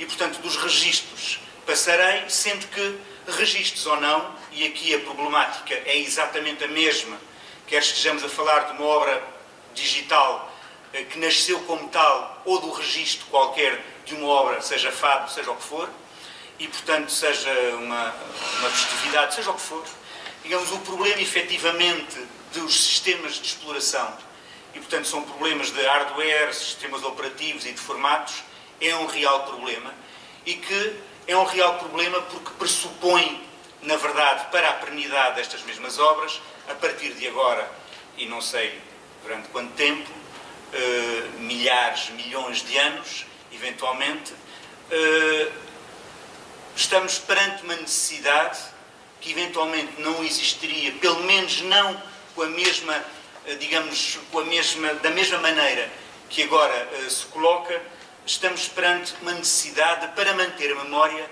desenvolver um esforço enorme para a sua manutenção. Digamos que qualquer arquivo é entendido hoje, aliás, quer dizer que não, arquivos mortos não existem, mas o arquivo eh, hoje em dia é mais do que vivo. Eh, foi aqui há bocadinho referido a ideia de laboratório e eu já lá voltaria. Com isto quer dizer que, por exemplo, se pegarmos o caso de uma partitura, podemos digitalizá-la, que é o processo simplesmente de transcrição ou de gravar uh, de um, sei lá, de um, de um suporte acústico para um suporte elétrico e de um suporte elétrico para um suporte eletrónico, mas enfim, a partir do objeto original é, existe, existirá, espera-se que sim, que a ideia que aconteceu aqui há uns anos de que uma vez digitalizados os arquivos fora com, com a, a base, com a origem, é, foi um erro é, crasso e isto existe inclusive em muitas instituições do Estado, que eu tenha, eh, não vou referir agora, não é a minha área, e, mas sei que existe, porque tive a oportunidade de fazer investigações e procurar e, e a perceber-me de que em muitos casos isso são arquivos perdidos para sempre. Portanto, outra coisa é transcrever, não apenas digitalizar, mas transcrever no caso da partitura, isso é possível. No caso do código, como lá chegarei também. E, portanto, eh, a questão é que todos os formatos existentes, seja no caso da partitura, para tomarmos isso como exemplo, os programas de notação musical, seja a sua exportação ou a partir de uma digitalização, a existência de um formato em PDF, também não é um formato especialmente perene. Muitas vezes os PDFs que funcionavam bem com o sistema operativo A, depois, quando são lidos no sistema operativo B, aparecem numa espécie de cacofonia gráfica que já nada tem a ver com aquilo que pretende representar. Eh, e, portanto, é obviamente problemático. Nós, neste momento, em termos de arquivos, o que tentamos fazer é de guardar tantos suportes ou tantos formatos quanto possível. Ou seja, que relativamente aos compositores que representamos plenamente e mesmo àqueles que não representamos, mas dos quais temos eh, obras ou partituras, nós tentamos guardar uma série de formatos. Por um lado, à partida, se foi um objeto que nasceu digital, portanto, o documento original, em notation, eh, AN, formatos, Sibelius final, etc. Guardar também o PDF como uma espécie de representação, inclusive normalmente imprimimos esse PDF porque é mais seguro. Eh, porque se eu transcrever esse grafismo, em princípio já não muda, e, eventualmente, sempre que possível, desde há uns anos esta parte, pedimos também formatos em Music XML, que ainda que muitos dos aspectos gráficos da notação sejam perdidos, há muitas coisas que se conseguem manter. Ou seja, que mantém-se a possibilidade de um, que é a vantagem do digital, de um documento dinâmico e, por hipótese, poderão imaginar que uma obra para orquestra, que tem, por hipótese, 50 partes a serem extraídas para cada um dos instrumentos da orquestra, eh, enfim, se eu puder ter pelo menos as notas e não ter que fazer tudo outra vez à mão, porque a questão de facto é essa, é para preservar a memória, quanto trabalho e quanto dinheiro é que isso vai custar, não é de hoje para daqui a 100 anos, é de hoje para amanhã. Essa é que é a problemática. Relativamente aos outros formatos, como a obra musical fixa sobre suporte, ou para retomar uma vez mais as palavras do António Tili, portanto, o, a, a, obra ou a gravação fonográfica, que em si é já o objeto artístico pelas manipulações que permitiu eh, e que, portanto, e é relativamente ao que deu origem, não vou alongar nos formatos, mas uma vez mais nós temos tentado naquilo, mas não somos propriamente um arquivo, repito, guardar N formatos possíveis. E isto porque, de facto, pode-se dizer que o que está aí, as obras musicais originalmente em formato digital de há cerca de 15, 20 anos, perderam-se quase todas. Eu aqui tenho uma primeira referência extremamente assustadora, que é nós fazemos parte de, um, de uma rede europeia, enfim, de várias redes internacionais ligadas a estas problemáticas, mas nomeadamente uma que tem a ver com os arquivos e que envolve em França e, que, e na Alemanha, que envolve como entidade principal o INA, portanto, o Institut National de l'Audiovisuel em França, onde tudo, e isso é um lado positivo, onde tudo, ao longo de já várias décadas, tem sido arquivado e guardado. Contudo, mesmo nesse contexto, no que diz respeito ao espólio, ao repertório analógico da música eletroacústica, 20% das obras já estão perdidas. Aquelas que nasceram em digital, 50%. E se falarmos, passarmos para o domínio das obras musical em código, que eu vou explicar um pouco mais à frente, a situação é tanto mais grave, por exemplo, no IRCAM, 80% das obras estão perdidas. Ou seja, não quer dizer que estejam totalmente perdidas, mas quem vai definir o que é importante e não é importante? Isto é uma questão patrimonial que tem sido colocada aqui várias vezes e que é absolutamente fundamental. Eu não, certamente. Eh, e, portanto, quem vai definir assim o esforço e o dinheiro que se vai uh, empregar para recuperar essas obras que ainda eventualmente se podem ler, mas que daqui a 20 anos já não se poderão. Pronto, portanto, eventualmente estes 80% não é um número determinista, mas é apenas uma, um número, uma percentagem que aponta para o perigo uh, latente que neste momento se vive. Voltando um pouco atrás, uh, além destes dois uh, aspectos, ou destes dois tipos de obras que referi, há mais uma que acho que é fundamental e que de todas estas e das três é que corre maior perigo e por isso o 80% das peças feitas no IRCAM nos últimos 30, 40 anos já não se conseguem uh, tocar, ou ouvir, ou reproduzir, ou voltar a apresentar.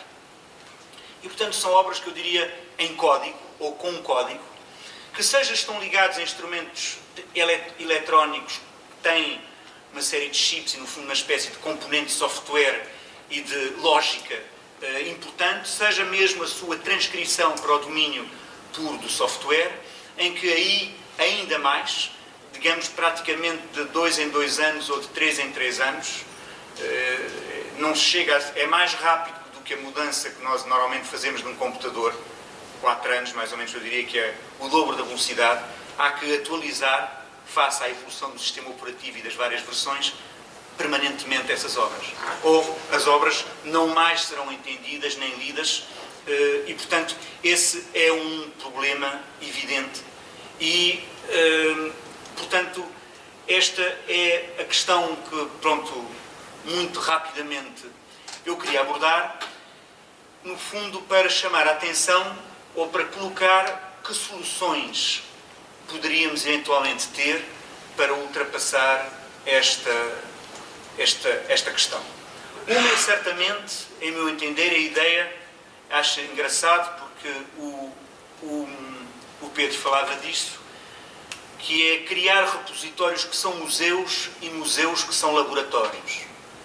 acho que é inevitável e, e premente e vital que se criem mecanismos e instituições que de facto tenham estas duas componentes, que sejam arquivos, mas que sejam com uma componente laboratorial que permita não só ler o passado, como traduzir permanentemente o passado para o futuro.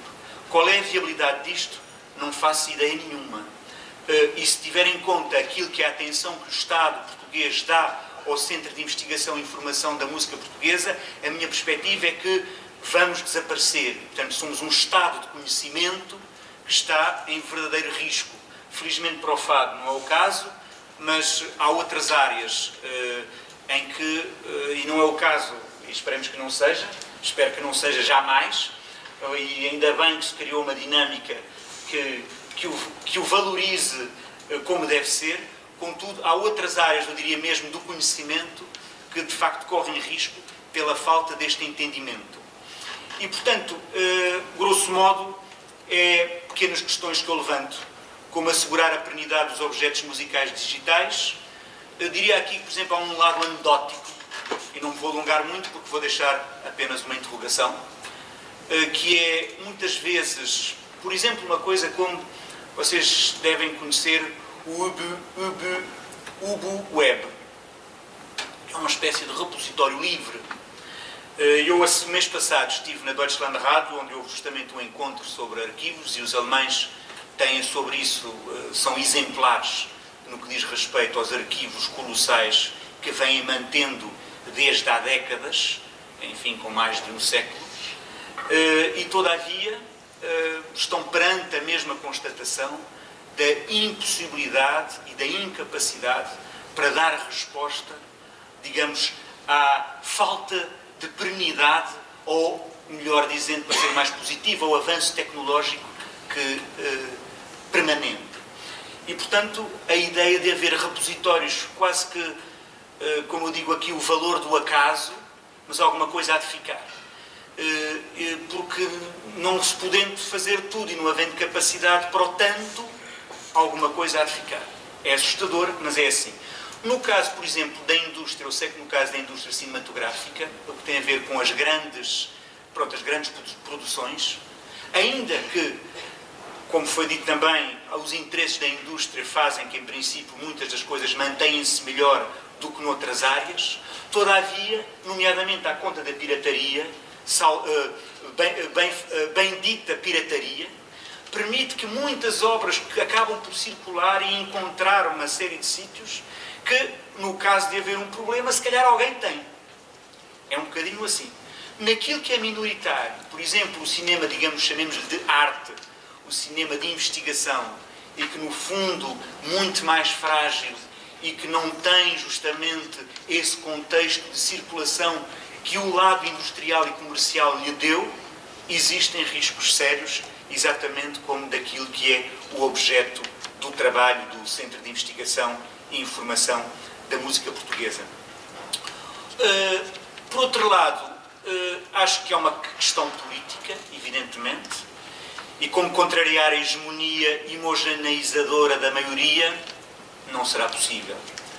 Porque a história diz-nos isso, que a história é feita pelos que mandam e os que têm poder para isso. E, portanto, em função de critérios que serão puramente os critérios pontuais desse momento, as coisas manter-se-ão ou não.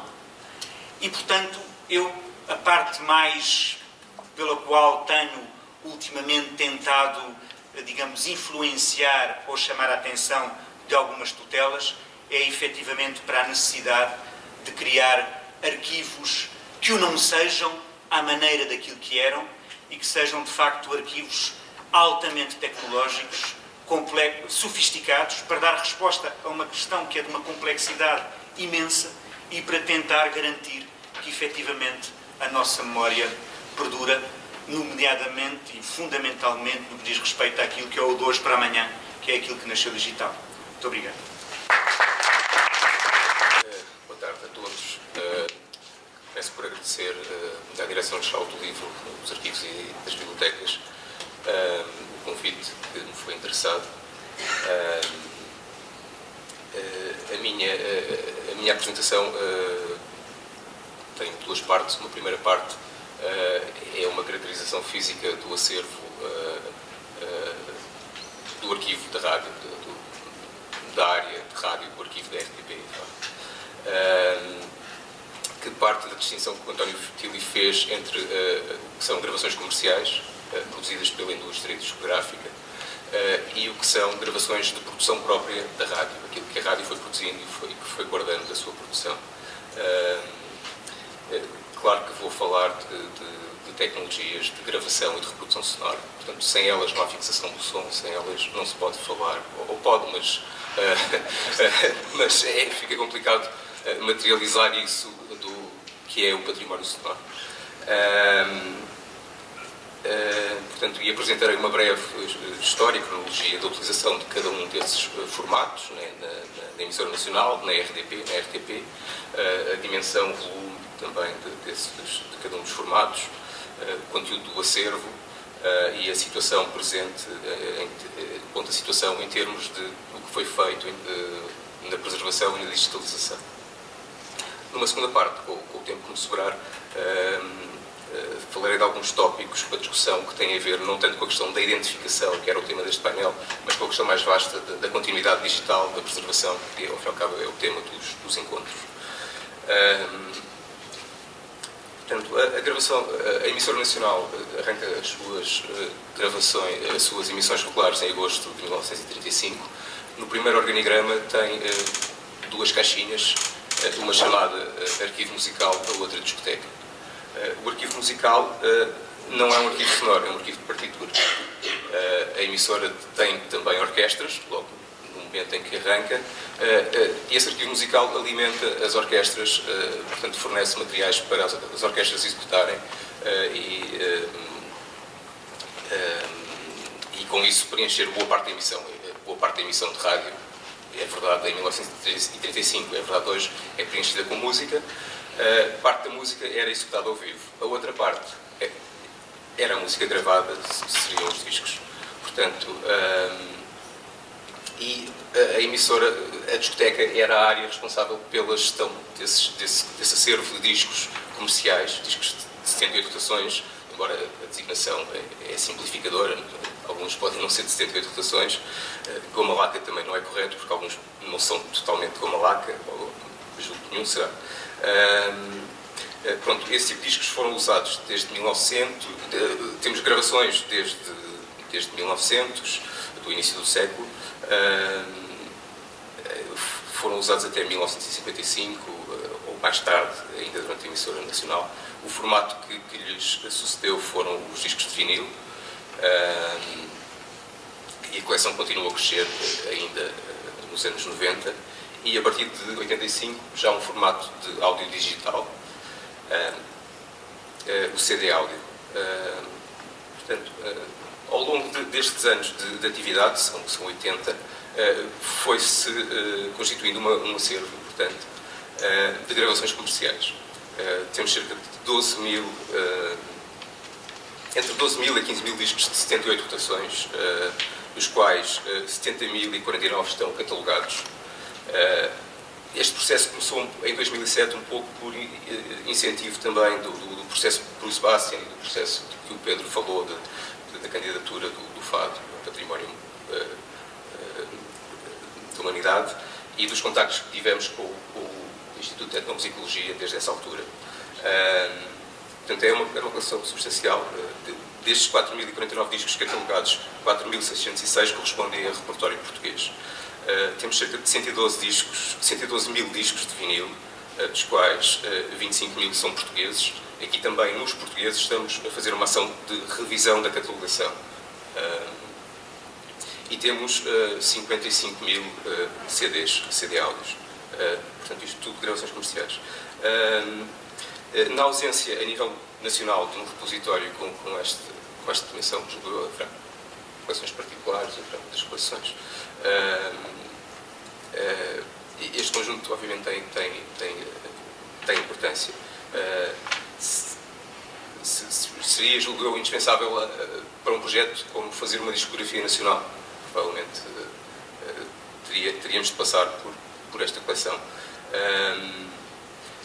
A própria dimensão arquivística levanta, levanta questões. A orgânica da, da coleção, que escolhas foram feitas na, na constituição da coleção, qual foi a evolução da política de aquisições, por exemplo, marcas de censura nos discos, faixas que foram riscadas e que, por motivos de censura.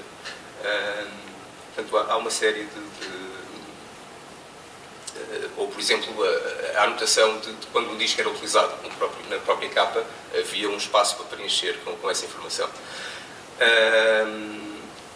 Por outro lado, também, aqueles, parte dos discos são importantes porque uh, são, são importantes. Uh, é, são diferentes de uma, de um, de um, dos discos que estão numa coleção particular. Muitos deles uh, estão riscados, foram manipulados, foram instrumentos de trabalho um LP ou um triplo álbum lindíssimo podia ser rasgado em três para facilitar a catalogação e ter uh, cada parte arrumada no, no sítio respectivo.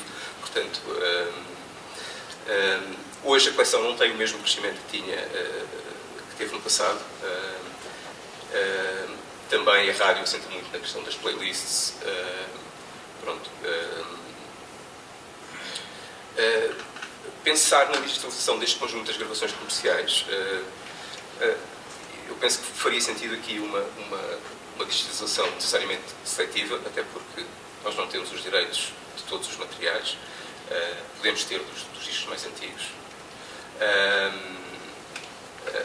Eh, podemos digitalizar por pequenos lotes por pedido, porque há um pedido da emissão, é preciso utilizar qualquer coisa, não está disponível em CD, não está disponível no outro lado. Vamos ao disco de 78 rotações, vamos ao disco de vinil, disponibilizamos. Temos, fazemos isso cotidianamente ou pequeno, por um pequeno lote que é necessário para um projeto utiliza, programa, por exemplo, sobre, sobre fado, em que vamos digitalizar o conjunto de discos.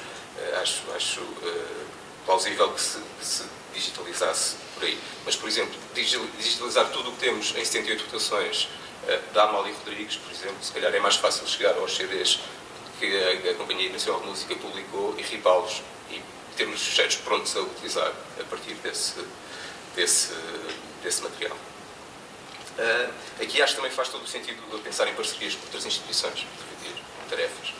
Uh, conseguimos ler todos estes formatos, uh, embora a, a transcrição que, que, que, fazemos não é de acordo com as orientações, depois já, já, já leirei essa questão. Portanto, isto encerra um pouco a questão das, das gravações comerciais. Quanto às gravações de produção própria, a emissora começou em 35, mas, tanto quanto conseguimos saber, sem, sem meios de gravação próprio. Esses só apareceram na primavera vá, de, de, de, de, 36, alguns meses mais tarde. A primeira gravação é de 25, temos o disco, sabemos a data, é de 25 de maio de 36. é uma cerimónia de discursos, paradas militares, no, no, no décimo aniversário do, do, do 28 de maio. Um, e é um, é um, disco instantâneo, com substrato de vidro. Portanto, a gravação na altura era, excepcional e muitas vezes estava relacionada também com necessidades de, de, de retransmitir alguma coisa em diferido, uh, embora também houvesse essa noção do, do, do, deixar para a posteridade. Há um artigo interessante na Rádio Semanal, uh, em 1976, sobre as promessas da tecnologia de gravação uh, e que diz que ficarão para a eternidade, a menos que o disco caia e se parta. Pronto, há sempre esta questão entre a promessa da tecnologia, de deixar para o futuro, e a, e a fragilidade do, do, dos formatos. Um, portanto, discos de laca, nitrocelulose ou discos instantâneos ou acetatos, é a mesma coisa, foram utilizados entre 36 e 1960. Foram no, no Porto, nos centros regionais, a tecnologia utilizada durante mais algum tempo, uma questão de falta de recursos. Uh, então temos discos desses gravados ainda nos anos 60. Uh, eh, essa tecnologia coincidiu nos anos 40 com o fio de aço, mas não tem expressão, o fio de aço não tem expressão no arquivo. Uh, tivemos a fita, bobinas de fita de arrasto de um quarto de polegada, que foram usadas desde 1939, lá está no, naquele projeto do Armando Lessa de recolha que o Armando Lessa fez concurso aos técnicos da emissora nacional. Portanto, 1939 a, a, a, emissora nacional estava a gravar em fita magnética muito antes da ANPEC standardizar o formato no pós-guerra, com a, tal máquina, um AEG K4 que está na, na, nossa coleção, pode ser visto na, na coleção que está na, na nossa, nas nossas instalações da, da, da, da Avenida Marcelo Gomes da Costa. Uh, e este formato, a fita, já depois a fita standardizada no pós-guerra, foi de facto utilizada uh, até uh, o ano 2000. Eu, quando, quando entrei para a RDP, em 2001, havia realizadores ainda que, desconfiados do dado, preferiam fazer o seu programa, montar o seu programa em, em fita magnética analógica. A cassete compacta também foi utilizada. o DAT, pronto, o DAT. Aqui temos um formato, novamente um formato de áudio digital, já tínhamos tido o CD falei há pouco. Mas este é um formato gravável. O DAT começou a ser usado na RDP em, em, 1990, foi usado até 2014. e o DAT é extremamente importante para o arquivo porque em meados dos anos 90 a RDP tomou a decisão de migrar para DAT todo o acervo que estava de, arquivo histórico, de arquivo permanente, que estava em fita, em fita analógica.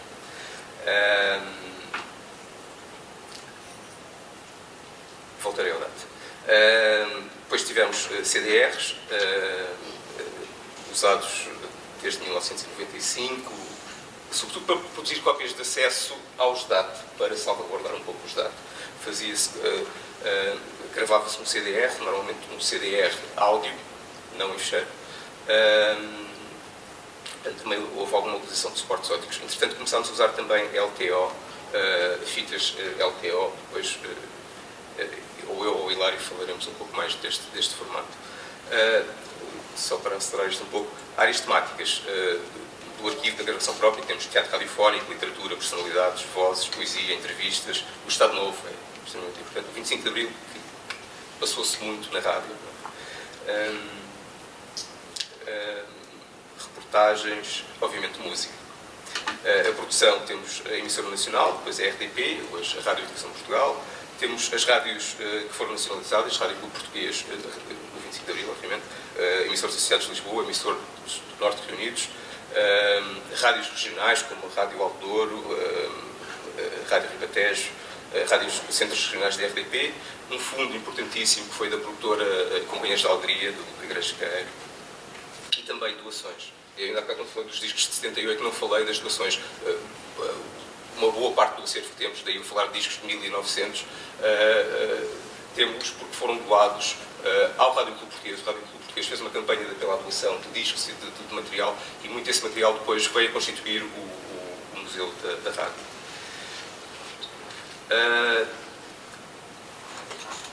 Digitalização, preservação, assim, todo, todos estes materiais foram tendo uma história no arquivo, uma história de cópias constantes. Nós hoje conseguimos podemos ir a um disco instantâneo de placa de nitrocelulose, estou a fazer assim porque estes discos às vezes têm 16 polegadas, portanto são um bocadinho maiores que os LPs, uh, e encontramos uma nota uh, transcrito para AH com carimbo, uh, o AH com um número, sabemos que é uma bobina, conseguimos ir a essa bobina, vemos que essa bobina depois foi transcrita para DAT, no tal processo de larga escala feito nos anos 90. Uh, portanto, será agora um AHD, e esses dados foram migrados para fecheiro, um processo que foi concluído agora há um, dois meses. portanto, uh, já não tivemos capacidade própria, mas uh, em conjunto com uma empresa que fez serviços semelhantes para a Rádio Dinamarquesa, para, para a British Library, uh, migrámos 34 mil horas de arquivo histórico, 24.499 cassetes. Tá? isto corresponde a 100% do arquivo histórico e a cerca de 20% do, do, arquivo musical em data, arquivo musical, de gravações próprias. Aqui estamos sempre a falar de gravações próprias. Ou seja, gravações de concertos, as próprias orquestras da emissora, tudo isso. Temos cerca de 20% a 25% eh, desse material. Ou seja, este material de arquivo musical, que também é arquivo histórico, ainda não está digitalizado na íntegra. Será uma segunda fase do processo. também temos em fecheiro cerca de 1.500 horas eh, de material que tem, tem, sido as transcrições que temos feito nos últimos anos. Um, e temos 7 mil horas que, são, que é a produção atual do, material que, que, vamos, que é produzido já em fecheiro e que, que vamos guardando. A ideia é que temos uh, ainda por migrar cerca de 13.500 horas de material. Isto são estimativas, estes números admitem alguma elasticidade. Então, só uh, umas pequenas notas curtas sobre aquilo que tem sido a nossa experiência de, preservação.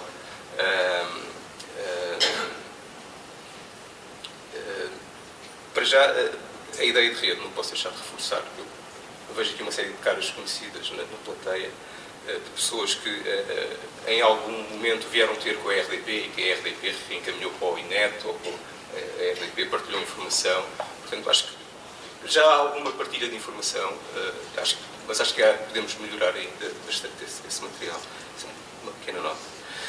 Quanto a normas, orientações, aí acho que na questão do áudio, do áudio não os problemas que, que o Miguel Aguirre estava a colocar, que são extraordinariamente complexos e que remetem para coisas como emulação, preservação digital mesmo, hardcore. Na questão do áudio digital, uh, uh, há um relativo consenso quanto a formatos. Preservar wave, linear, uh, sem compressão, 24 bits, 48 kHz como mínimo, na conversão a partir de, de, de digital. Uh, há documentos da IASA, da Associação Internacional dos Arquivos Sonoros, que, que, que põem princípios básicos, por exemplo, o IASA TC03, o, TC, o Comitê Técnico da IASA, 03 é o número do documento, o TC04 explica, por exemplo, as questões da migração, como deve ser feita a migração, e o TC05, a, a, conservação dos suportes originais que é um documento novo.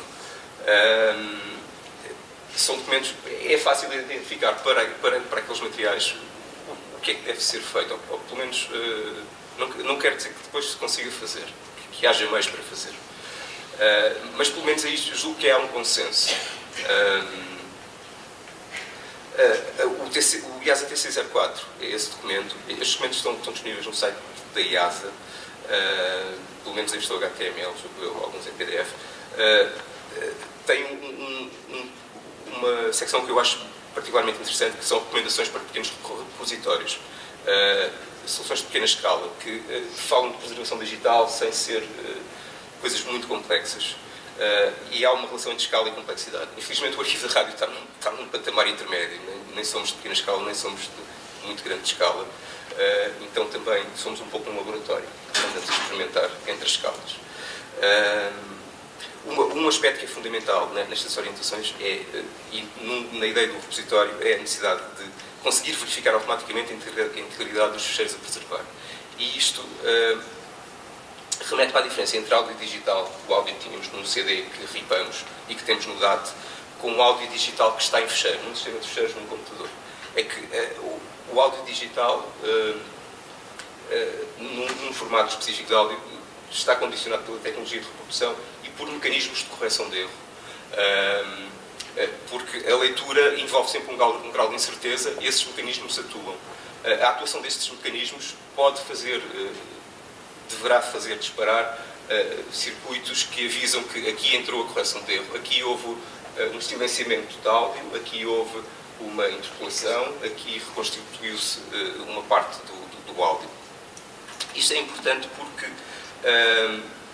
para já, o áudio digital tem na transcrição tem uma vantagem, tem uma vantagem, não, não tem só vantagens, mas tem uma vantagem sobre o analógico, que é o controle de qualidade, pode ser automatizado. Portanto, nesse aspecto, uh, agradecemos a decisão que a RDP tomou nos anos 90, de, de passar para DAT. Porque agora, quando migramos para, para fecheiro, ficámos com uma série de informação sobre onde é que poderão estar erros. Também temos temos a informação de quando é que esses uh, mecanismos uh, de controle de qualidade, de correção de erros atuaram. Temos, uh, isto também tem a ver com o formato depois que foi, foi usado, mas temos, neste projeto de, de, migração, recolhemos 7.838.595 eventos de qualidade. Isto é quase Big Data, ou pelo menos Data espigadota. Mas conseguimos analisar este, este material, espero eu, estatisticamente, e talvez fazer algumas inferências quanto a, a pontos da coleção onde, onde, onde poderá haver uh, uh, problemas. Felizmente temos os originais uh, e quando tivermos problemas com o DAT, se o DAT não der resposta, podemos ir ainda à fita magnética.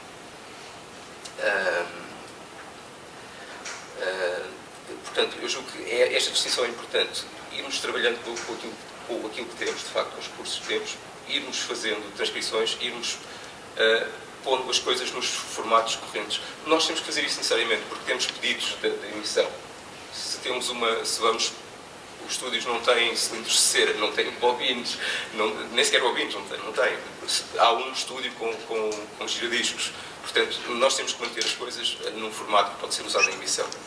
Um, pronto, uma, uma ajuda, eh, e isto também se liga com a relação, eh, com a questão do laboratório, uma ajuda tem sido, sem dúvida, o software uh, open source, de código aberto, que tem, temos encontrado uma série de, de, de, de ferramentas que nos têm permitido uh, um, conhecer melhor o áudio. Uh, por exemplo, o CD Paranoia para ripar CDs permite, aprendemos muito sobre a questão da correção de erros, sobre o SOX para processar automaticamente fecheiros WAVE para cortá-los seccioná-los, o FFmpeg para criar cópias de, de de acesso. O Albio, uma ferramenta de anotação, que pode uh, uh, anotar, por exemplo, onde é que há silenciamentos no áudio uh, que podem estar relacionados com a mudança de documento. Nós, por exemplo, num DAT tínhamos vários registros diferentes. Pronto. mas, mas não só, também temos estado a experimentar com,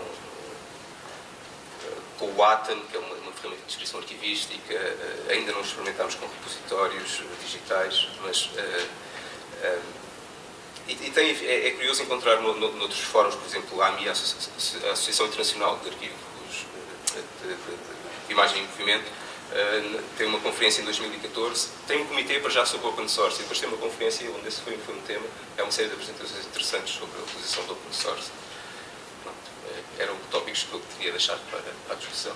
Já, já não mudei bastante. Em primeiro lugar, muito boa tarde a todos. É agradecer o convite que foi feito. Estamos longe. Está, está, está bom. Eu falo relativamente alto, afastei já para prevenir aí que. Eh, mas tudo bem. Eu tenho apenas uma pequena apresentação, é apenas guia de texto, vou basicamente falar.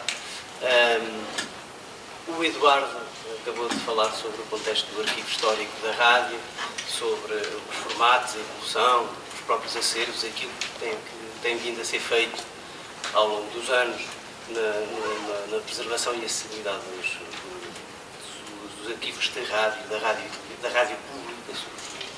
Uh, eu, se calhar, eu, se calhar não, de certeza, vou-me centrar num, num, numa outra área, vamos centrar no que é na atualidade, isto, há, isto é, o que fazemos hoje em termos de uh, uh, arquivo digital de áudio, o que, guarda, o que guardamos, não, não na perspectiva do que selecionamos, mas como guardamos e uh, qual é a nossa plataforma para salvaguarda dos fonogramas digitais, isto é, os atuais, produzidos e nados digitais e uh, também tentar dar uma perspectiva eh, naturalmente rápida sobre o que pensamos e quais são uh, as, os projetos que temos para o futuro no sentido da melhoria da nossa plataforma de uh, arquivo digital de rádio, de áudio.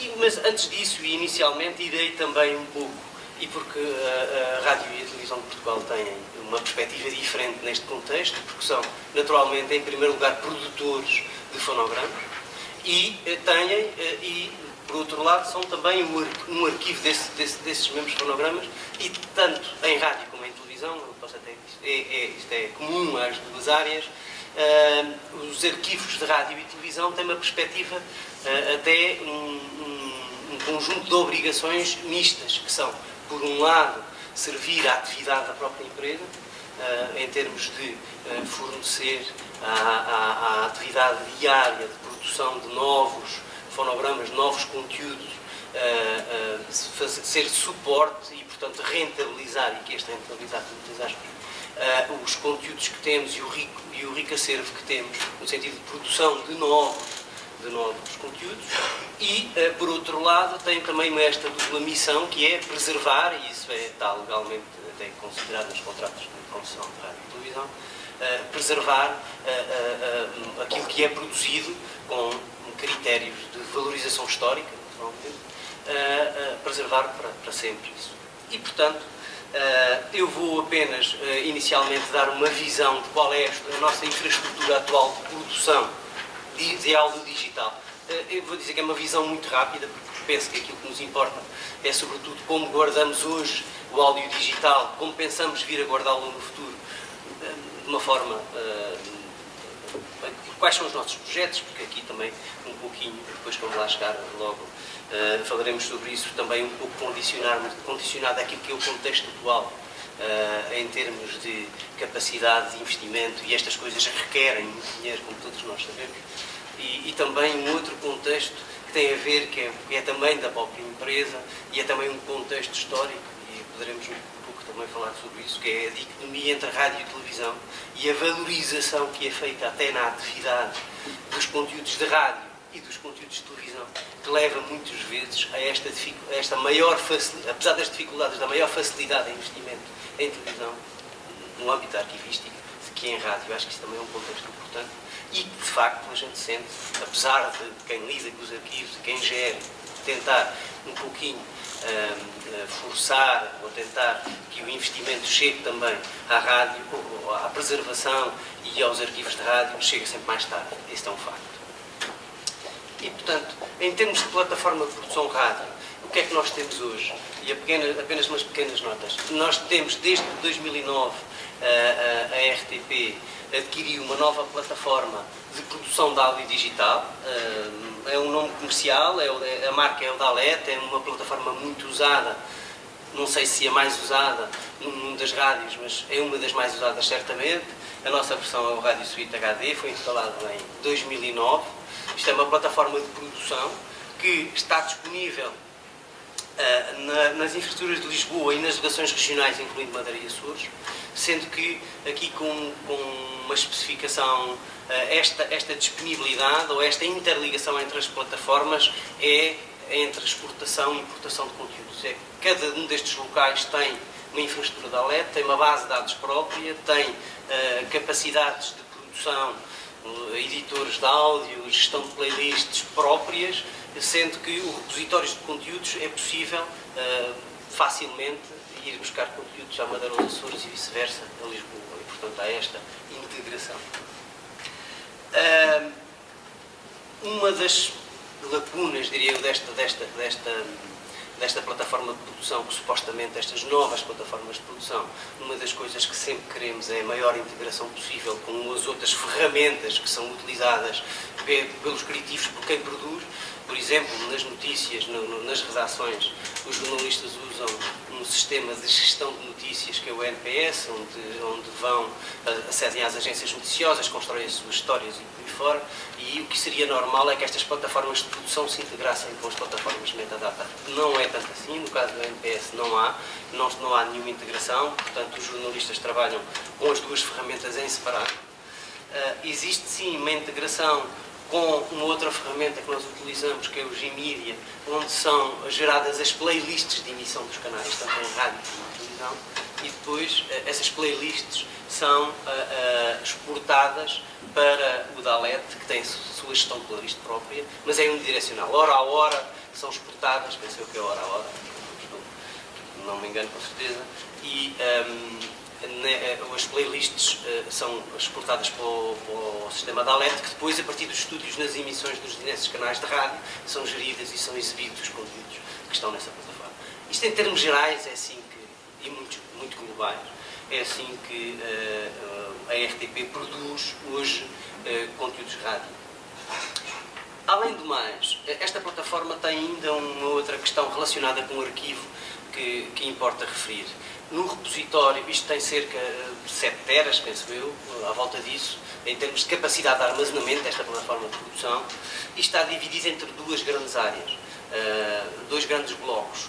Um bloco uh, de armazenamento destinado à produção, aos programas, à programação e aos programas que estão a ser produzidos e que vão ser exibidos, e tem um segundo bloco de arquivo, digamos assim, e arquivo com muitas aspas, que é assim, uh, tem um arquivo que é gerido pela área de programação, é um arquivo de primeira linha, de acesso imediato do, dos, dos, das áreas de programação, da informação e dos utilizadores, digamos, uh, dos, da plataforma de produção e emissão, e é gerido por eles próprios. No fundo, é uma estrutura de pastas onde os programas pós-exibição são guardados de acordo com critérios que eles, próprios, que eles próprios utilizam para reutilização futura, seja na íntegra para, para reutilização nas mais diversas plataformas, incluindo no online, seja uh, uh, para uh, mais tarde fazerem outros, outros programas com base naqueles fonogramas.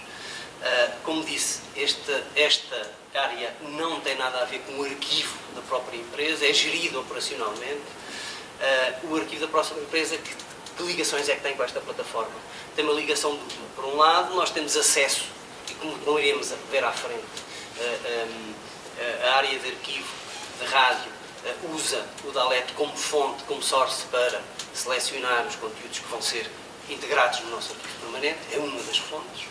E por outro lado, existe também eh, nesta plataforma um espaço de destino ao qual, nas pastas de destino, ao qual a, a área de arquivo da rádio pode, pode enviar uh, fonogramas, enviar áudios que, que, são solicitados à área. E, portanto, aí uh, dando mesmo, uh, colocando mesmo a ligação entre o arquivo e a plataforma produção de forma desmaterializada, sem suporte, isto é, os conteúdos são transferidos de fecheiro desde o arquivo para o DALET.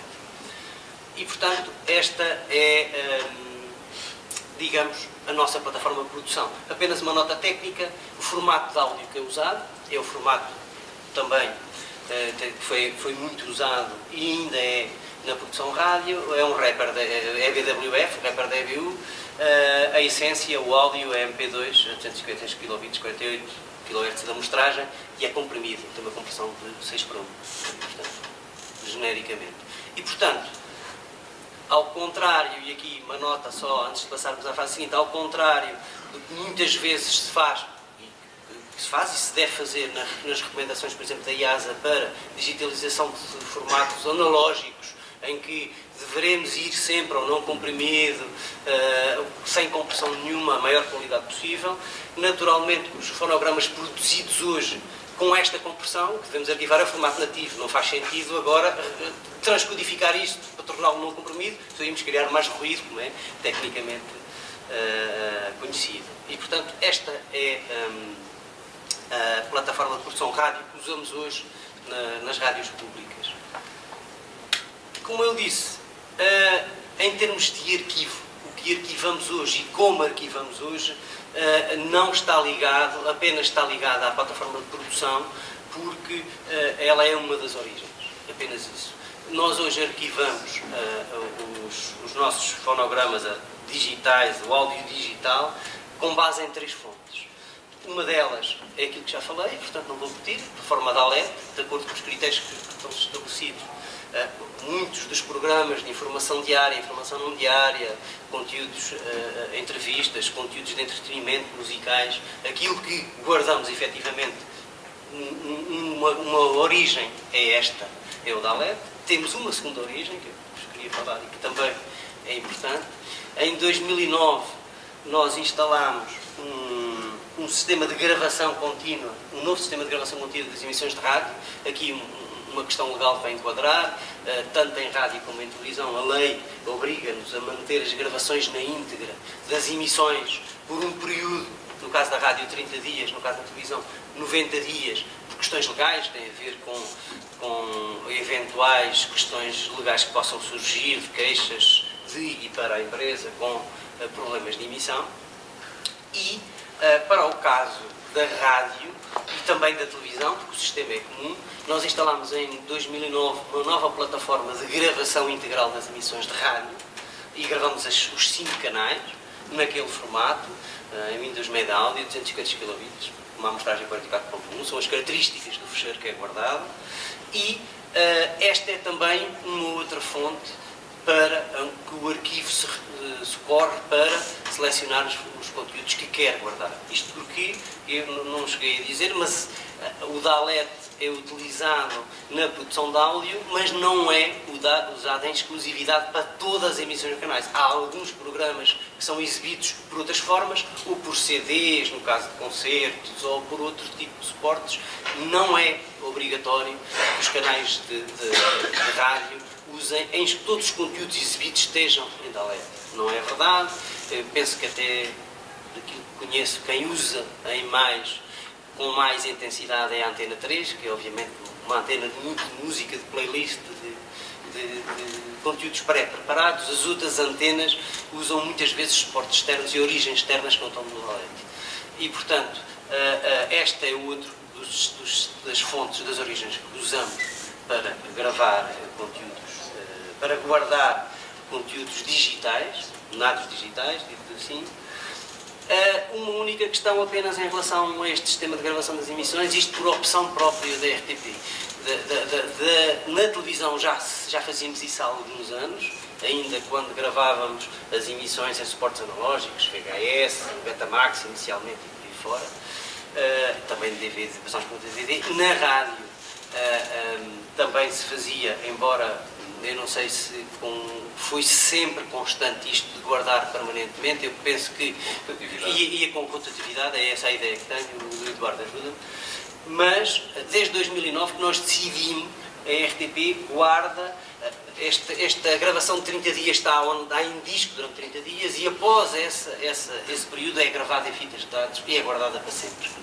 Ou seja, este não é um arquivo da RTP, este não é tratado depois com dados classificado como um arquivo permanente, não é esse o caso, mas é, um, mas é, mas é importante para nós guardá-lo porque é sempre um recurso que possa, possa ser acessível mais tarde e a gente até o preserva de alguma maneira, que já vamos explicar então. Finalmente, hum, qual é a outra origem de arquivo que temos hoje? São suportes de produção externa, suportes externos.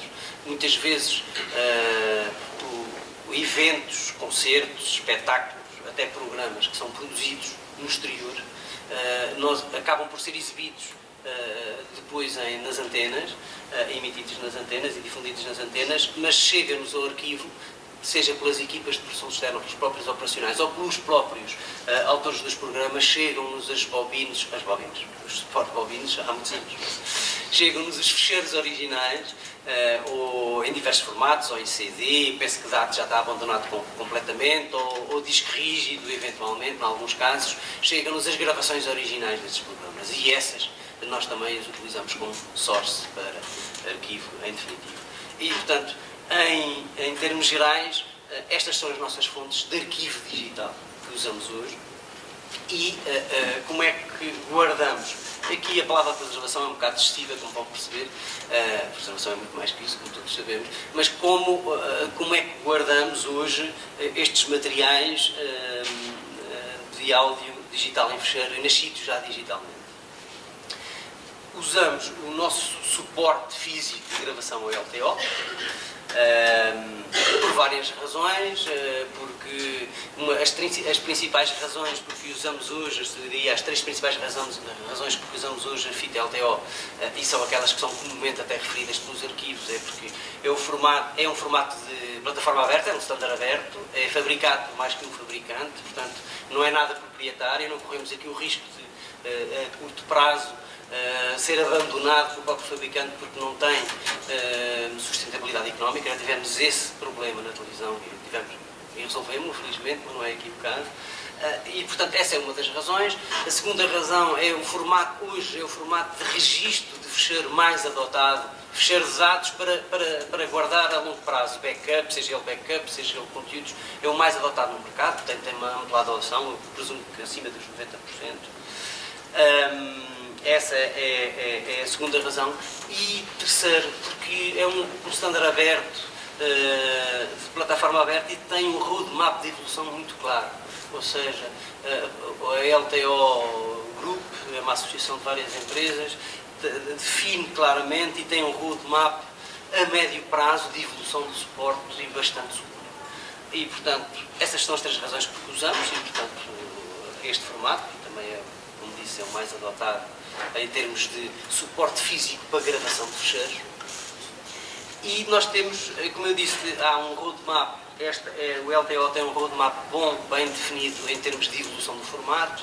Uh, normalmente, cerca de dois, dois, dois anos e meio a três anos, há uma nova geração. A nova geração normalmente tem o dobro da capacidade por fita mas tem uma, uma está no próprio standard, tem umas características especiais, que é a cada, geração, cada nova geração, é, obrigatoriamente, a drive lê uma geração anterior e escreve duas. Isto é, hoje nós estamos em LTO5, que é uma fita com 1.0 tera de capacidade por cada, cada, cada tape, e um drive LTO5 lê e escreve formato LTO4 e lê formato LTO3, 4 e 5. Portanto, digamos, se houver um roadmap uh, uh, de 3 em 3 anos, nós temos a garantia que um formato hoje lê gravações de há 8, 9, 10 anos. Isto não é, isto não é sossego nenhum, se, falar, se pensarmos em termos do que é preservação e do, e do que é, no fundo, a durabilidade do, do, dos, dos, dos suportes de registro analógico, mas também é verdade que neste mundo digital, uma das coisas que nós temos que estar preparados, pelo menos em termos de obsolescência dos suportes de registro, é para migrações sucessivas e sistemáticas. E, portanto, essa é, uma, essa é uma rotina de preservação digital do arquivo da RTP, seja em rádio ou em televisão. Nós temos uma política de migrações e migram. Não há nada a fazer. Uh, uh, e quanto a isso, e aqui estou apenas a falar do formato de registro e não do formato do próprio áudio, dos codecs e, de, e dos formatos. É, para isso também temos que ir olhando com, com muita atenção. Uh, ainda, o que é que guardamos? Sobretudo versões, que isto é muito importante também relativamente à preservação. Nós guardamos um master de preservação em fita de dados. Uh, e no caso do, do arquivo histórico, o Eduardo falou uh, em, em, o que veio da, da, da, da migração do DAT, do arquivo todo, a integralidade do arquivo histórico de DAT para fechar, está guardado, tem duas cópias, o master em LTO, uma, uma cópia de, de efetiva e outra de backup, portanto duas versões, e temos também cópias de acesso que, que estão em LTO e simultaneamente em disco rígido, para simplificar o acesso. Estas cópias de acesso são normalmente no formato da ALET, formato nativo de produção, para não haver transcodificações, a transcodificação é feita uma vez, e eh, em muitos casos, no caso do arquivo histórico, eh, não está aqui, eh, nós também fizemos uma cópia de pré-escuta em MP3 de baixa resolução para que se possa primeiro fazer pré-escuta antes de aceder ao suporte original. E uh, uh, dizer, que, dizer que toda esta gestão de suportes é em prateleira. É feita em prateleira, manual, não temos um, um sistema que queremos vir a ter, falarei disso já a seguir, mais só dois minutos. Uh, e, portanto, a gestão deste acervo físico digital é feita em prateleira, manualmente, uh, sendo que, sempre que possível, temos cópias de acesso em disco rígido para obviar de ir às fitas originais. E já falei um pouco disto, uh, rapidamente. Temos, naturalmente, como parte da nossa política de preservação digital, uma, um, um, uma ação de migração sistemática de suportes LTO e em linha com aquilo que é o, road, o roadmap de LTO. Atualmente nós estamos no LTO 6, anuncia-se a meados do próximo ano, que se vai atrasar o LTO 7 e portanto nós temos algumas gravações em LTO 3 que este ano vamos migrar. Vamos migrar tudo o que é LTO 3 para LTO 5. Provavelmente no início do, próprio, do próximo ano iremos migrar de LTO 4 para LTO 6, eventualmente ao LTO 5. Fará com que temos mais 4, 5 anos para a frente antes da próxima migração. Isto em termos de garantir a acessibilidade aos suportes. E em termos globais é assim que funcionamos hoje. Eu acho, e todos nós no arquivo da rádio achamos, não é assim que queremos funcionar no futuro e, portanto, eu iria falar um pouco do que, é, que é que são os nossos projetos. É claro que eu estou aqui a falar apenas da preservação física, dos modelos de preservação física dos, dos próprios registros, não estou a falar de metadados. Uh, é, é, é, uma, é, uma, é, uma, questão importante, mas em 10 minutos seria muito difícil falar disso. Uh, uh, falarei um pouco mais à, à frente, agora neste último slide, sobre pretendemos um pouco sobre isso. Qual é qual é, qual é o projeto que temos em mente, é aquilo que, para o qual temos vindo a trabalhar há alguns anos e que infelizmente hum, não foi ainda possível implementar por questões de oportunidade, por questões financeiras, sobretudo. Mais do que isso, não vale a pena uh, fugir à questão. Aliás, já em 2007 isto um pouco por analogia com a televisão em 2007, quando nós iniciámos a plataforma de arquivo digital de televisão, que provavelmente alguns de vocês conhecem, onde funcionamos com armários robotizados, com um sistema de informação e de base de dados muito relativamente avançado ou muito avançado, se assim quisermos, e com todas as funcionalidades que um arquivo digital desta grandeza devia ter, uh, estava previsto que a segunda fase isto entrou em funcionamento em 2009, começou em 2007, entrou em 2009, e uh, este projeto tinha uma, uma, uma, uma fase 2, que seria o arquivo da rádio e a multimídia. É claro depois veio 2011 e, portanto, todos os nossos salários foram cortados, não é? Isto também foi. Um, portanto, mas a, a, a, nossa visão para o futuro não mudou. E, que é que pretendemos e o que, e no que é que estamos a trabalhar num arquivo de áudio uh, uh, digital uh, que tenha, basicamente, eu vou elencar muito rapidamente aquilo que nós entendemos que são os, os, os requisitos básicos que é automatização do acesso aos fonogramas. Aqui não há esta história da desmaterialização do suporte com o mundo digital é uma falácia, não há desmaterialização do suporte, ponto final, o suporte existirá sempre, seja ele fita de dados, discos rígidos, o que quer que a gente chame, discos óticos, que é uma tecnologia que há de surgir e que acho que nos vai trazer algumas surpresas, vamos ver, está muito insípida, mas os discos óticos podem ser eh, uma, uma, uma alternativa às fitas de dados Uh, e o que nós queremos, um dos requisitos base, requisitos base é a automatização, a desmaterialização da manipulação e não do suporte em si. Isto é, os, os, os fonogramas, os conteúdos uh, guardados em fitas de dados e ou em, em discos. Uh, para a rádio é mais para conteúdos música, fonogramas, conteúdos áudio, desculpem, é mais fácil dada a dimensão dos fecheiros que é, que é muito menor comparado com, com a televisão. Talvez seja possível mantermos cópias de acesso uh, integralmente em disco, de acesso online, como nós dissemos, e uh, uma segunda cópia em armário amortizado. Talvez não seja possível a totalidade dos conteúdos estarem em disco, então teremos os mais usados, mais, os mais com maior necessidade de acesso em disco e os restantes em armários robotizados, e portanto este é um requisito base do futuro sistema, no qual estamos a trabalhar. Um outro requisito base é um sistema de informação documental moderno, o que a gente chamamos hoje um, um, um acrónimo que é um MAM, Media Asset Management, para conteúdos de áudio uh, moderno, com um modelo de dados que possa ser configurável e customizável, tanto a conteúdos de rádio, uh, programas e informação, tanto como a conteúdos musicais.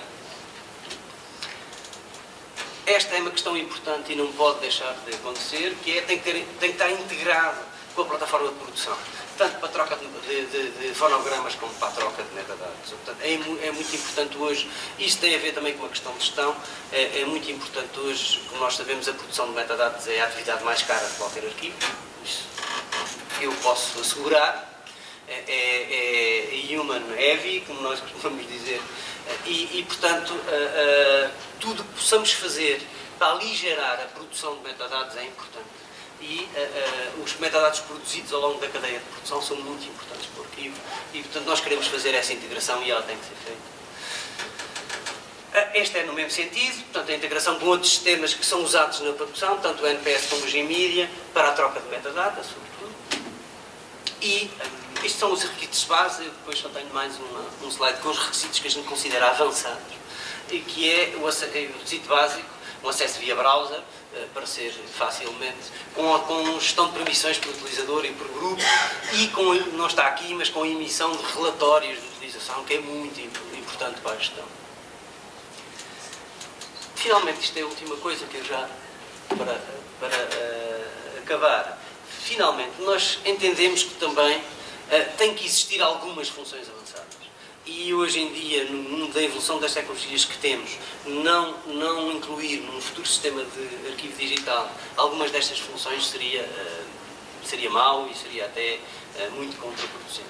Uma delas é, e isto, estas novas tecnologias dão-nos, é uma capacidade de automatizar processos e workflows que hoje são feitos manualmente.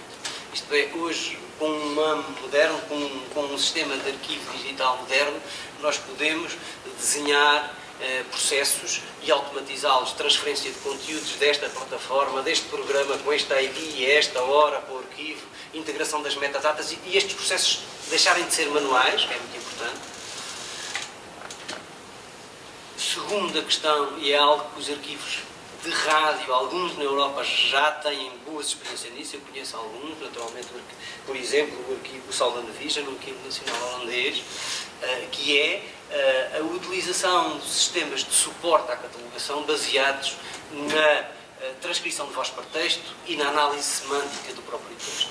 Ou seja, é, não são, não é e nunca será, apesar de algumas de algumas utopias que para aí também circulam, nunca teremos um, um sistema capaz de catalogar com rigor automaticamente, com base em voz para texto. Isto aplicará-se com certeza a conteúdos de notícias, a entrevistas, a, a programas falados, não a música.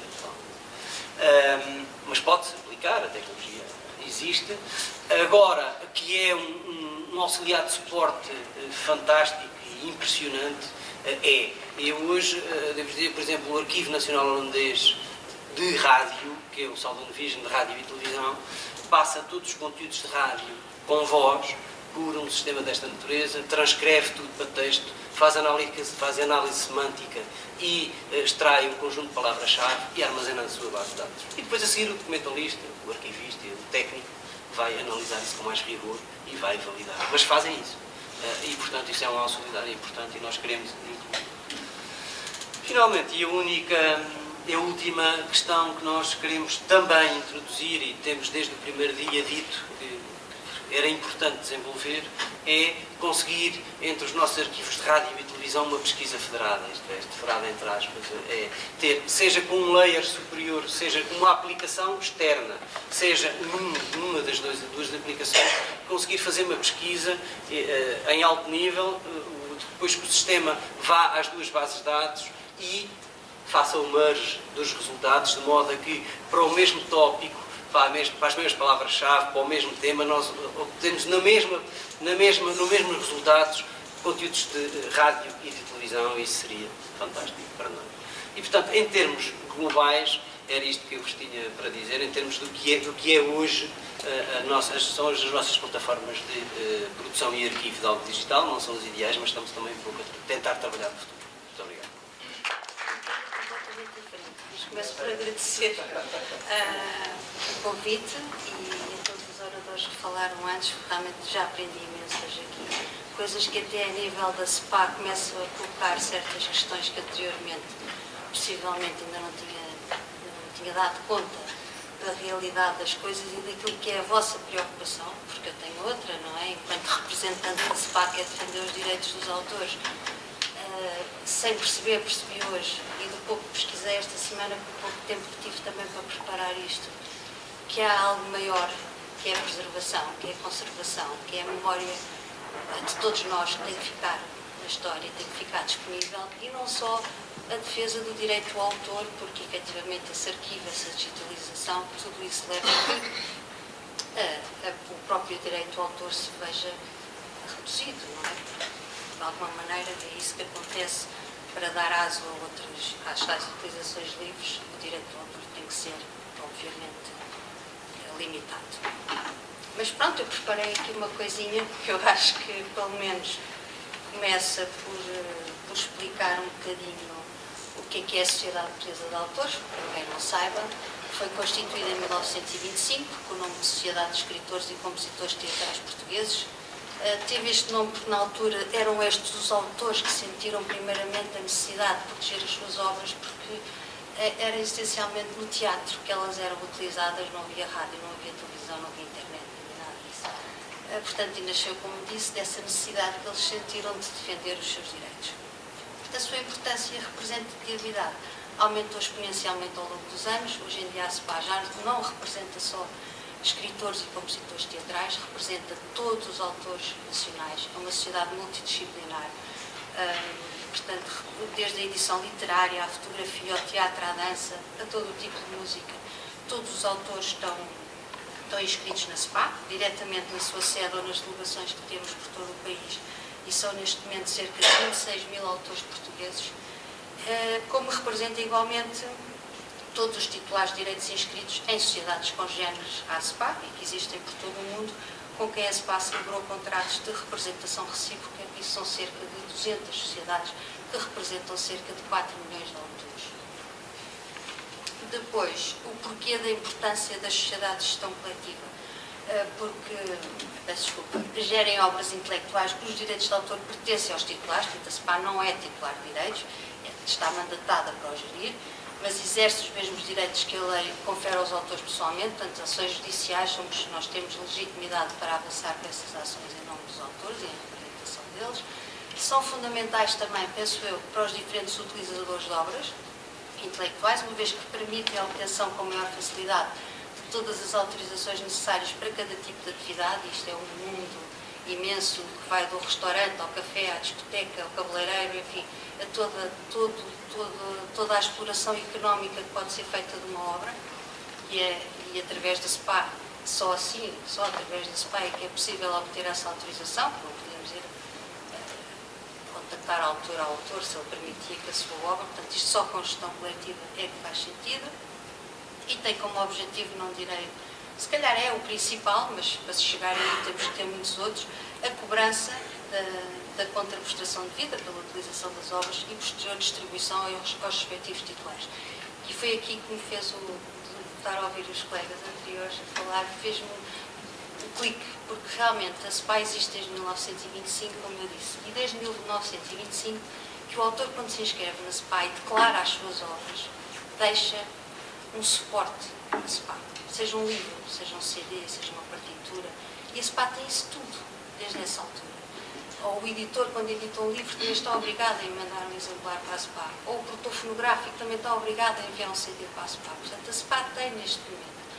E não está a ser tratado. E que eu acho que, que é grave. Mas, mas ainda se vai a tempo, provavelmente, não sei com aquilo que eu vi aqui hoje, três anos e cinco, provavelmente já não, já não há nada a fazer mas temos efetivamente esse acervo também, que não nos serve para mais nada a não ser que se o autor um dia for preciso a declaração de obra para uma ação judicial ou vir outro plagiar, então é preciso ver se a obra já estava anteriormente declarada ou não, só serve para isso. Não serve, e é pena, se calhar deveria servir para, para, para investigação e para. Porque pois é desde a declaração escrita à mão, que eles entregavam, a, letra da música escrita à mão, a partitura, tudo isso está lá tudo. Uh, e, portanto, tendo em conta o número de, possíveis utilizações de uma obra, porque, uh, peço, peço desculpa só para se perceber se calhar um bocadinho melhor, o autor quando declara a obra serve para quê? Nós documentamos essa obra, classificamos cada obra, seja literária, ou visual, ou, ou, ou fonográfica, ou musical, tem um BI dentro da SPA e depois em ligação com todas as outras sociedades congêneres, temos várias plataformas, o Cisnet e outras, em que cada obra tem o seu I que identifica os titulares dessa obra, que são os autores e os editores, quem interpretou, quando é que foi gravada pela primeira vez, por quem. Portanto, há, há, há muita informação que eu acho que é, que é muito importante. E a nós serve-nos só para distribuir, para saber depois quando recebemos as playlists, foram estas as obras, vamos ver, vamos classificá-las, vamos saber quem são os autores e fazer a distribuição o mais correta possível. Portanto, agora passando um bocadinho à frente, tendo em conta o número de possíveis utilizações de uma obra, bem como o tempo e o espaço em que estas podem ser usadas, o recurso a uma entidade de gestão coletiva é a melhor e a, mais eficaz forma dos autores defenderem os seus direitos e do público em geral aceder às obras legalmente. Depois, o direito de autor, este bicho de sete cabeças. Regra geral, é um direito exclusivo, pelo qualquer utilização de uma obra intelectual protegida carece da autorização do seu autor. Obviamente que não é só isto, porque o direito de autor não é absoluto, como quase nenhum é hoje em dia, mas o direito de autor sempre foi assim, sempre viveu esta luta, porque, e, e penso que ainda hoje, não sei se não será maior hoje, mas enfim, eh, vão-se criando limites e exceções que têm em vista um interesse de ordem geral, e penso que isso há mais agora do que, do que havia antigamente. Eh, com a criação, nomeadamente, da diretiva que foi transposta em 2006 das chamadas utilizações livres, que, não, que eram, quer dizer, foi, foi, foi alargado o leque, que eram poucas, se bem que alargado de uma maneira que há muitas que a gente nem percebe o que é que aquilo quer dizer. Mas pronto, foram efetivamente alargadas e procuram estabelecer um equilíbrio entre os interesses dos autores e do público em geral. Isso sempre foi assim e terá que ser sempre assim. O direito de autor encontra-se ligado às bibliotecas e aos arquivos, principalmente pelas exceções que foram criadas a favor destas instituições. Hoje, depois do ouvir aqui, não é só isso, obviamente, é muito mais do que isso e pode parecer às vezes um pouco ingrato a, a posição do autor ou do titular de direitos de alma perante este trabalho gigantesco, tão importante que é arquivar, eh, tratar, preservar. Isso muitas vezes penso que não, que não é bem entendido. E, portanto, destas exceções estas medidas excepcionais previstas no artigo 75 do Código de Direito de Autor e dos Direitos Conexos são efetivamente limitativas do direito de autor, permitem às bibliotecas e arquivos e outras instituições similares a realização de certas tarefas que de outra forma seriam ilícitas. Isto pode parecer estranho, mas a verdade é que é, é, seriam efetivamente ilícitas porque a lei não permite que as mesmas sejam feitas. Pois a linha E, penso que já todos o conhecem, que diz que a reprodução no todo em parte, uma obra tenha sido previamente tornada acessível ao público, desde que tal reprodução seja realizada por uma biblioteca pública, um arquivo público, um museu público, um centro de documentação não comercial ou uma instituição científica de ensino e que essa reprodução e o respectivo número de exemplares se não destinem ao público, se limitem às necessidades das atividades próprias dessas instituições e não tenham por objetivo a obtenção de uma vantagem económica ou comercial, direta ou indireta, incluindo os atos de reprodução necessários à preservação e arquivo de quaisquer obras. Portanto, esta é uma das exceções em que é lícita a utilização sem consentimento do autor.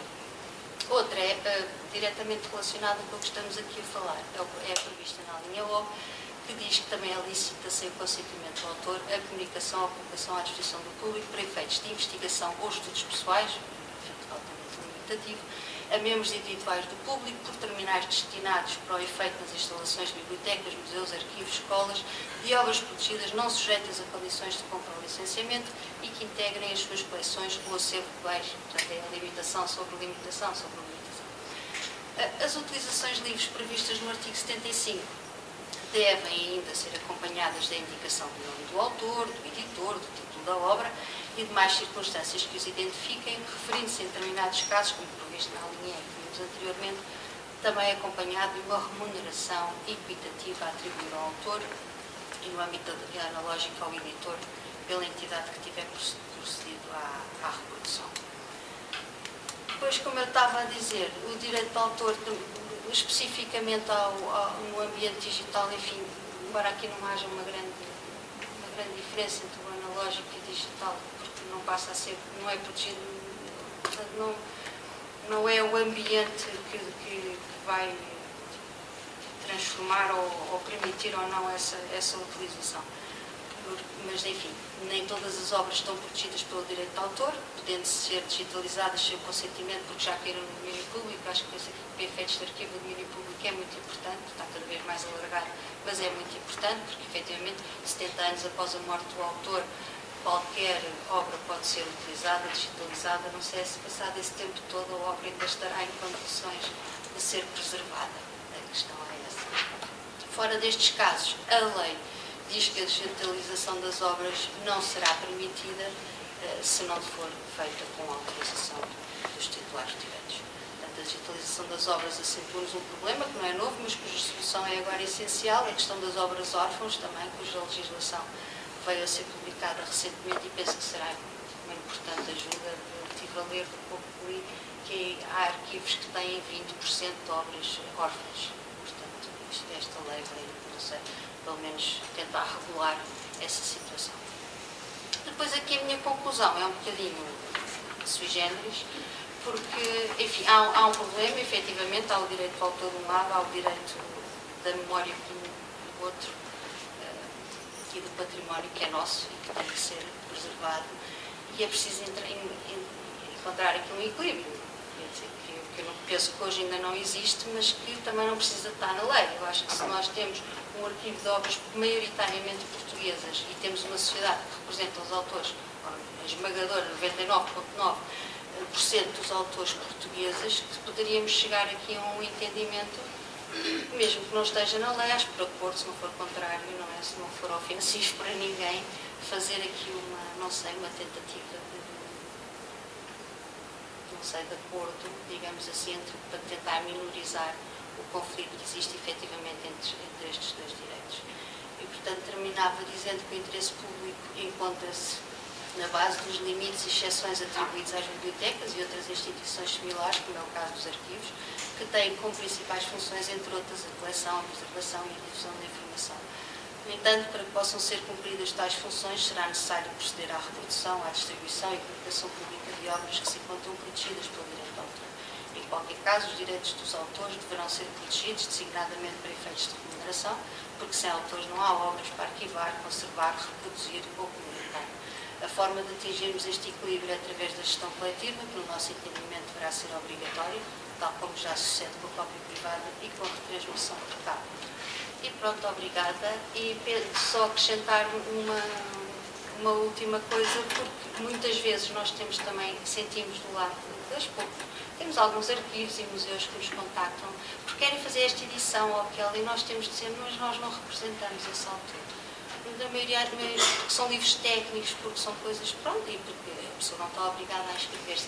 E essa gestão coletiva obrigatória a ser criada, penso que iria também facilitar em muito porque mesmo que a SPA não represente, como acontece na cópia privada ou na, na retransmissão por cabo, mesmo que a SPA não represente, pode regularizar a situação e de hoje para amanhã, se o autor vier a reclamar, portanto, quem utiliza deixa de ter esse, esse problema, porque a SPA autorizou e depois eh, terá que devolver o dinheiro, ou se não, não aparecendo ninguém será redistribuído por carteira aos outros, aos outros autores.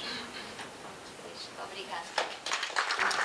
Boa tarde. Uh, antes de mais, agradeço naturalmente em nome do Instituto de História Contemporânea a oportunidade de hoje vir uh, divulgar um pouco o que tem sido feito no âmbito do projeto Europeana Sound e aproveito para uma pequena nota. Originalmente seria a professora Fernanda Rola a apresentar o projeto Rocio, que é um projeto um, de infraestruturas para as ciências sociais e as humanidades uma vez que a professora Fernanda Rola infelizmente não pôde estar presente, optámos por vir eu apresentar um outro projeto que muito se relaciona com estas questões de preservação, talvez mais da sensibilização para a preservação uh, do som, que é o projeto European Sounds. Vou procurar ser breve, porque eu penso que quem fica em último lugar é sempre um bocadinho mais torturante para o público, mas uh, vou procurar ser breve e qualquer questão que fique, que, que vos pareça ter ficado pendente, uh, ficará evidentemente para debate. Creio que, de um modo geral, conhecerão a, Europeana, a plataforma europeana. É uma plataforma que tem essencialmente por objetivo agregar e disponibilizar e divulgar a cultura ou vários objetos culturais digitais que digam respeito à cultura europeia. O princípio é precisamente da partilha de uma cultura comum. Tem vindo a desenvolver diversas plataformas, já explicarei um pouco melhor eh, onde é que se insere o projeto Europeana Sound, eh, sendo que neste caso o Instituto de História Contemporânea é, é, o parceiro deste projeto, mas tem trabalhado sempre com parceiros, aliás, como, como é habitual em vários projetos, eh, tem trabalhado sempre com, com parceiros nacionais para o desenvolvimento deste projeto. E, naturalmente, como dizia António Tilly, na nossa perspectiva no Instituto de História Contemporânea, o som, seja ele o fonograma, seja ele uma entrevista, uma memória oral, entre tantos outros registros sonoros, eh, é encarado como um documento, um documento histórico muitas vezes precioso, eh, entendido precisamente como uma fonte histórica que deve integrar cada vez mais, eh, e sobretudo neste contexto de transformação para a era digital, e onde muitos dos recursos já são precisamente nascidos no meio digital, deve ser precisamente encarado no contexto também da preservação da história do nosso país, neste caso concreto. Este projeto foi lançado no dia 1 de fevereiro de 2014, financiado pela Comissão Europeia, coordenado pela British Library. Um, reúne neste momento 24 parceiros, 12 países diferentes, uh, reúne entre bibliotecas, naturalmente arquivos de som europeus, várias instituições de som, centros de investigação e é, surge, surgiu precisamente com a ambição de se tornar o quinto domínio agregador. Para quem conhece a Europeana, existiam já os, os domínios ligados a arquivos, televisão, filmes e bibliotecas. A Europeana tem desenvolvido também outros projetos mais pequenos e mais pontuais, designadamente ligados à moda, entre outras áreas, gastronomia também. Mas neste caso, a Europeana Sound se pretende, acima de tudo, eh, melhorar eh, e, e criar um nova lógica de boas práticas no que diz respeito à, à divulgação e à partilha de registros sonoros e de, de todo o nosso património sonoro europeu. Isto porque, para quem conhece a Europeana, efetivamente existiam já alguns registros sonoros e, e, alguns objetos digitais ligados ao som, mas tinham vários problemas, desde logo ligados à qualidade, à quantidade, que não seria aqui porventura o mais importante, mas, mas neste caso é, e, e, que não representavam efetivamente aquilo que é o património cultural europeu e depois especificamente de cada país que, que, que, que contribui para a europeana. Pretende-se então, durante estes três anos, já temos um ano de projeto a decorrer, agora com várias novidades a acontecer e iniciativas, pretende-se então dar acesso até janeiro de 2017 a uma massa crítica de conteúdos sonoros digitais. A perspectiva é de cerca de meio milhão, isto só de conteúdos de conteúdos fonográficos de som, eh, para lá do também chamado audio related, partituras e outras imagens ou outros conteúdos associados eh, ao som e que possam ajudar precisamente a enriquecer estes conteúdos. Isto porque também tem sido eh, uma transformação no sede europeana, a preocupação não só em enriquecer os metadados, como alargá-los, melhorá-los, um, e aumentar a qualidade do acesso. Sabemos que, enfim, uma plataforma desta natureza, com tanta diversidade e com tantos problemas de acesso, designadamente pelas línguas diferentes com que trabalha, uh, tem vindo a procurar e a tentar encontrar uma série de soluções, designadamente tecnológicas, mas também que passam muito por trabalho dito intelectual, de tratamento da informação, que permita, no fundo, que os públicos diferentes consigam aceder a estes conteúdos com o mínimo de dificuldade e obstáculos possível. É, é, é uma tarefa particularmente complicada.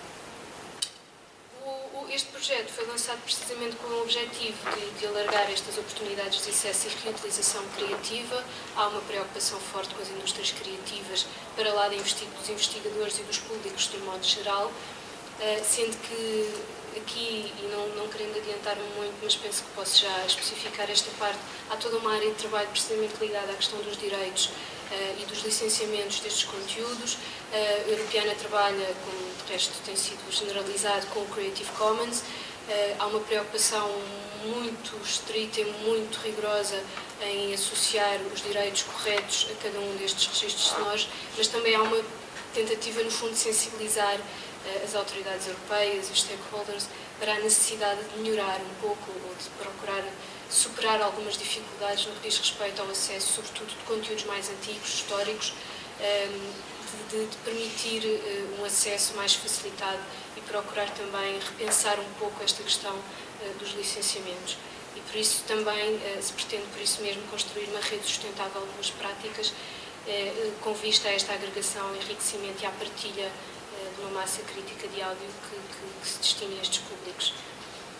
Precisamente como referi, uh, o objetivo é ambicioso, mas está a ser cumprido, é chegar a, cerca de meio milhão de registros disponibilizados. Uh, naturalmente, muitos destes arquivos e bibliotecas uh, já têm um largo trabalho de disponibilização de conteúdos digitais, sonoros, enfim, estamos a falar de alguns dos principais arquivos europeus de som portanto estão a fazer essencialmente um trabalho de agregação e aqui o um momento certo também para chamar a atenção que a Europeana não é um repositório. A Europeana é um agregador de metadados que tem ferramentas próprias para o fazer, utiliza o Europeana Data Model, eh, que agora está a ser adaptado, tem vindo a ser bastante adaptado às necessidades do som eh, e por isso eh, é, é, é também um modelo que vai sendo adaptado às diferentes plataformas e neste caso concreto, aquilo que é feito é, é, é, a divulgação, a agregação dos conteúdos digitais já disponíveis ou em fase de disponibilização, muitos deles ainda estão a ser disponibilizados, sendo que aquilo que a Europeana uh, agrega efetivamente são os metadados e nunca os recursos sonoros. Cabe aos arquivos, às instituições uh, que, têm estes conteúdos a seu, uh, à, à, sua guarda, a sua preservação e a sua manutenção no futuro que significa que precisamente este, este tipo de plataformas tem um papel, parece-me, mais importante no que diz respeito à sensibilização pública eventualmente política eh, para aquilo que está em causa em relação à preservação do som, do que propriamente uma função de repositório que não teve nem, nem, nem ambiciona ter. Entre os conteúdos, eh, falando precisamente no enriquecimento de metadados e, e, na necessidade também de melhorar, eh, enfim, todas estas dificuldades que há por vezes, também porque falamos de arquivos e bibliotecas que usam sistemas diferentes e que têm critérios muito específicos no que diz respeito aos seus metadados, aquilo que se procura é encontrar uma espécie de chapéu comum, mas que naturalmente se mantém relativamente alargado. Tem havido um trabalho muito específico de desenvolvimento de vocabulários, de, de, de ontologias, mas como definição geral, aquilo que se procura eh, divulgar e agregar no European Sound são desde as instituições de música clássica, música tradicional, eh, a memória oral, os efeitos sonoros, os, os, os as, as, as, paisagens sonoras também, eh, os dialetos, as línguas, enfim, há aqui todo um conjunto de temas que, de uma forma interessante, a European Sounds tem procurado vir a classificar e, e, a especificar, também permitindo uma pesquisa mais eficiente. Eu não sei se tem acesso à internet aqui, gostava só de mostrar o aspecto geral do site, sendo que, naturalmente, esta agregação é feita na plataforma na plataforma europeana e não no site Europeana Sounds. O site Europeana Sounds depois será posteriormente arquivado. Temos aqui as categorias que existem já neste momento, mas que estão aqui a funcionar mais para fins de divulgação do que depois propriamente na plataforma europeana. Há também já aqui uma série de tags, mas depois terão a oportunidade de explorar. Temos Portugal, tem sido a nossa preocupação colocar Portugal no mapa, depois já explico um bocadinho melhor. Uh, naturalmente, é essa a nossa função no projeto. Acima de tudo, é uma iniciativa que permitiu finalmente reunir alguns arquivos e entidades importantes ligadas ao, à preservação do som e que estão a trabalhar de uma forma muito próxima e, e muito eh, bem articulada precisamente para a partilha de competências, de experiências, melhores, piores, quer no que diz respeito à preservação, como também depois aos problemas que se colocam à divulgação. Como referi, eh, acima de tudo, tem também esta dimensão da sensibilização eh, junto dos públicos europeus e dos decisores europeus em relação àquilo que é a necessidade de preservar este património sonoro. Naturalmente, nós, da parte do Instituto de História Contemporânea, temos aqui também uma, uma, visão até um bocadinho mais, enfim, mais complexa, uh, precisamente porque, pela forma como encaramos a importância do som e do registro sonoro no quadro do estudo histórico e patrimonial, mas neste passo que a European Sound se dará, pretende-se precisamente alargar o acesso a, este conjunto largo de conteúdos que permita precisamente começar a desenhar um pouco aquilo que é a história da Europa através do som no fundo, sempre a ideia da cultura partilhada, que é o princípio subjacente à Europeana Sound. Do lado do Instituto de História Contemporânea, como referi, não trabalhamos isoladamente, trabalhamos desde logo com o INET, também com a IELT, um, que, têm, que estão desde, desde a origem deste projeto.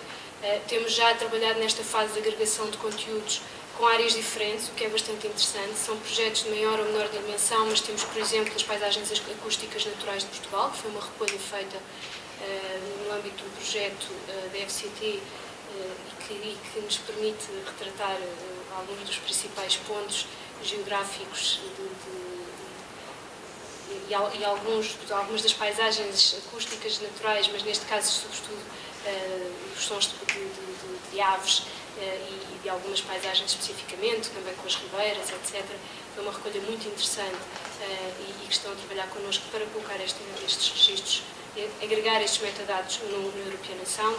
Temos o Mural Sonoro, um trabalho fantástico desenvolvido pela Soraya Simões, que tem feito entrevistas a alguns dos principais uh, protagonistas da música portuguesa do século XX uh, eh, e, que, e, que, também teve, manifestou interesse em participar uh, neste projeto. Temos a Memória Mídia do IELT, com várias recolhas de memória tradicional e oral, e o Phone Ambient, que neste caso, por exemplo, foi um, foi um registro são, são um conjunto de registros que tem vindo a ser desenvolvido no Porto, uh, com sons, paisagens acústicas, paisagens uh, uh, essencialmente urbanas, mas também algumas paisagens naturais, e que todos eles, aliás, o objetivo deste projeto é precisamente colocá-lo em domínio público e dar acesso às indústrias criativas para que possam reutilizar, inclusive, foi um dos trabalhos que fizeram, o, o som de, de, das tempestades de areia no deserto, porque fizeram esse registro, fizeram naturalmente com, com, com, os requisitos técnicos necessários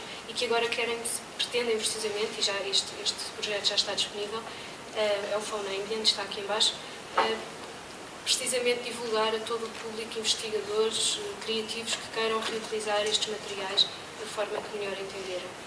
Bom, Portugal tem, tem, tem tido, para além da participação essencial na agregação de metadados e, na, e na, em todos os trabalhos que dizem respeito ao desenvolvimento do projeto, temos tido também uma outra vertente interessante, eh, que é precisamente podermos divulgar, eh, eh, através dos canais da Europeana, da Europeana Sound, uma série de projetos e de questões que têm vindo a ser colocadas em Portugal ligadas à questão do, do som, não exclusivamente no que diz respeito ao património histórico, embora naturalmente seja essa a nossa preocupação, e apenas para terem uma ideia muito rápida do tipo de, de conteúdos que já foram disponibilizados por alguns parceiros, incluindo a partir de Portugal. Eu não vou passar o vídeo todo, mas este é o vídeo de apresentação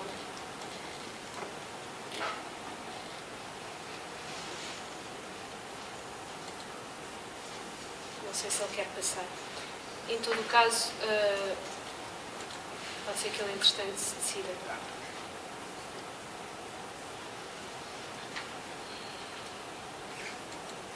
Apenas para, para concluir, eu agora gostava de ter acesso à minha apresentação, mas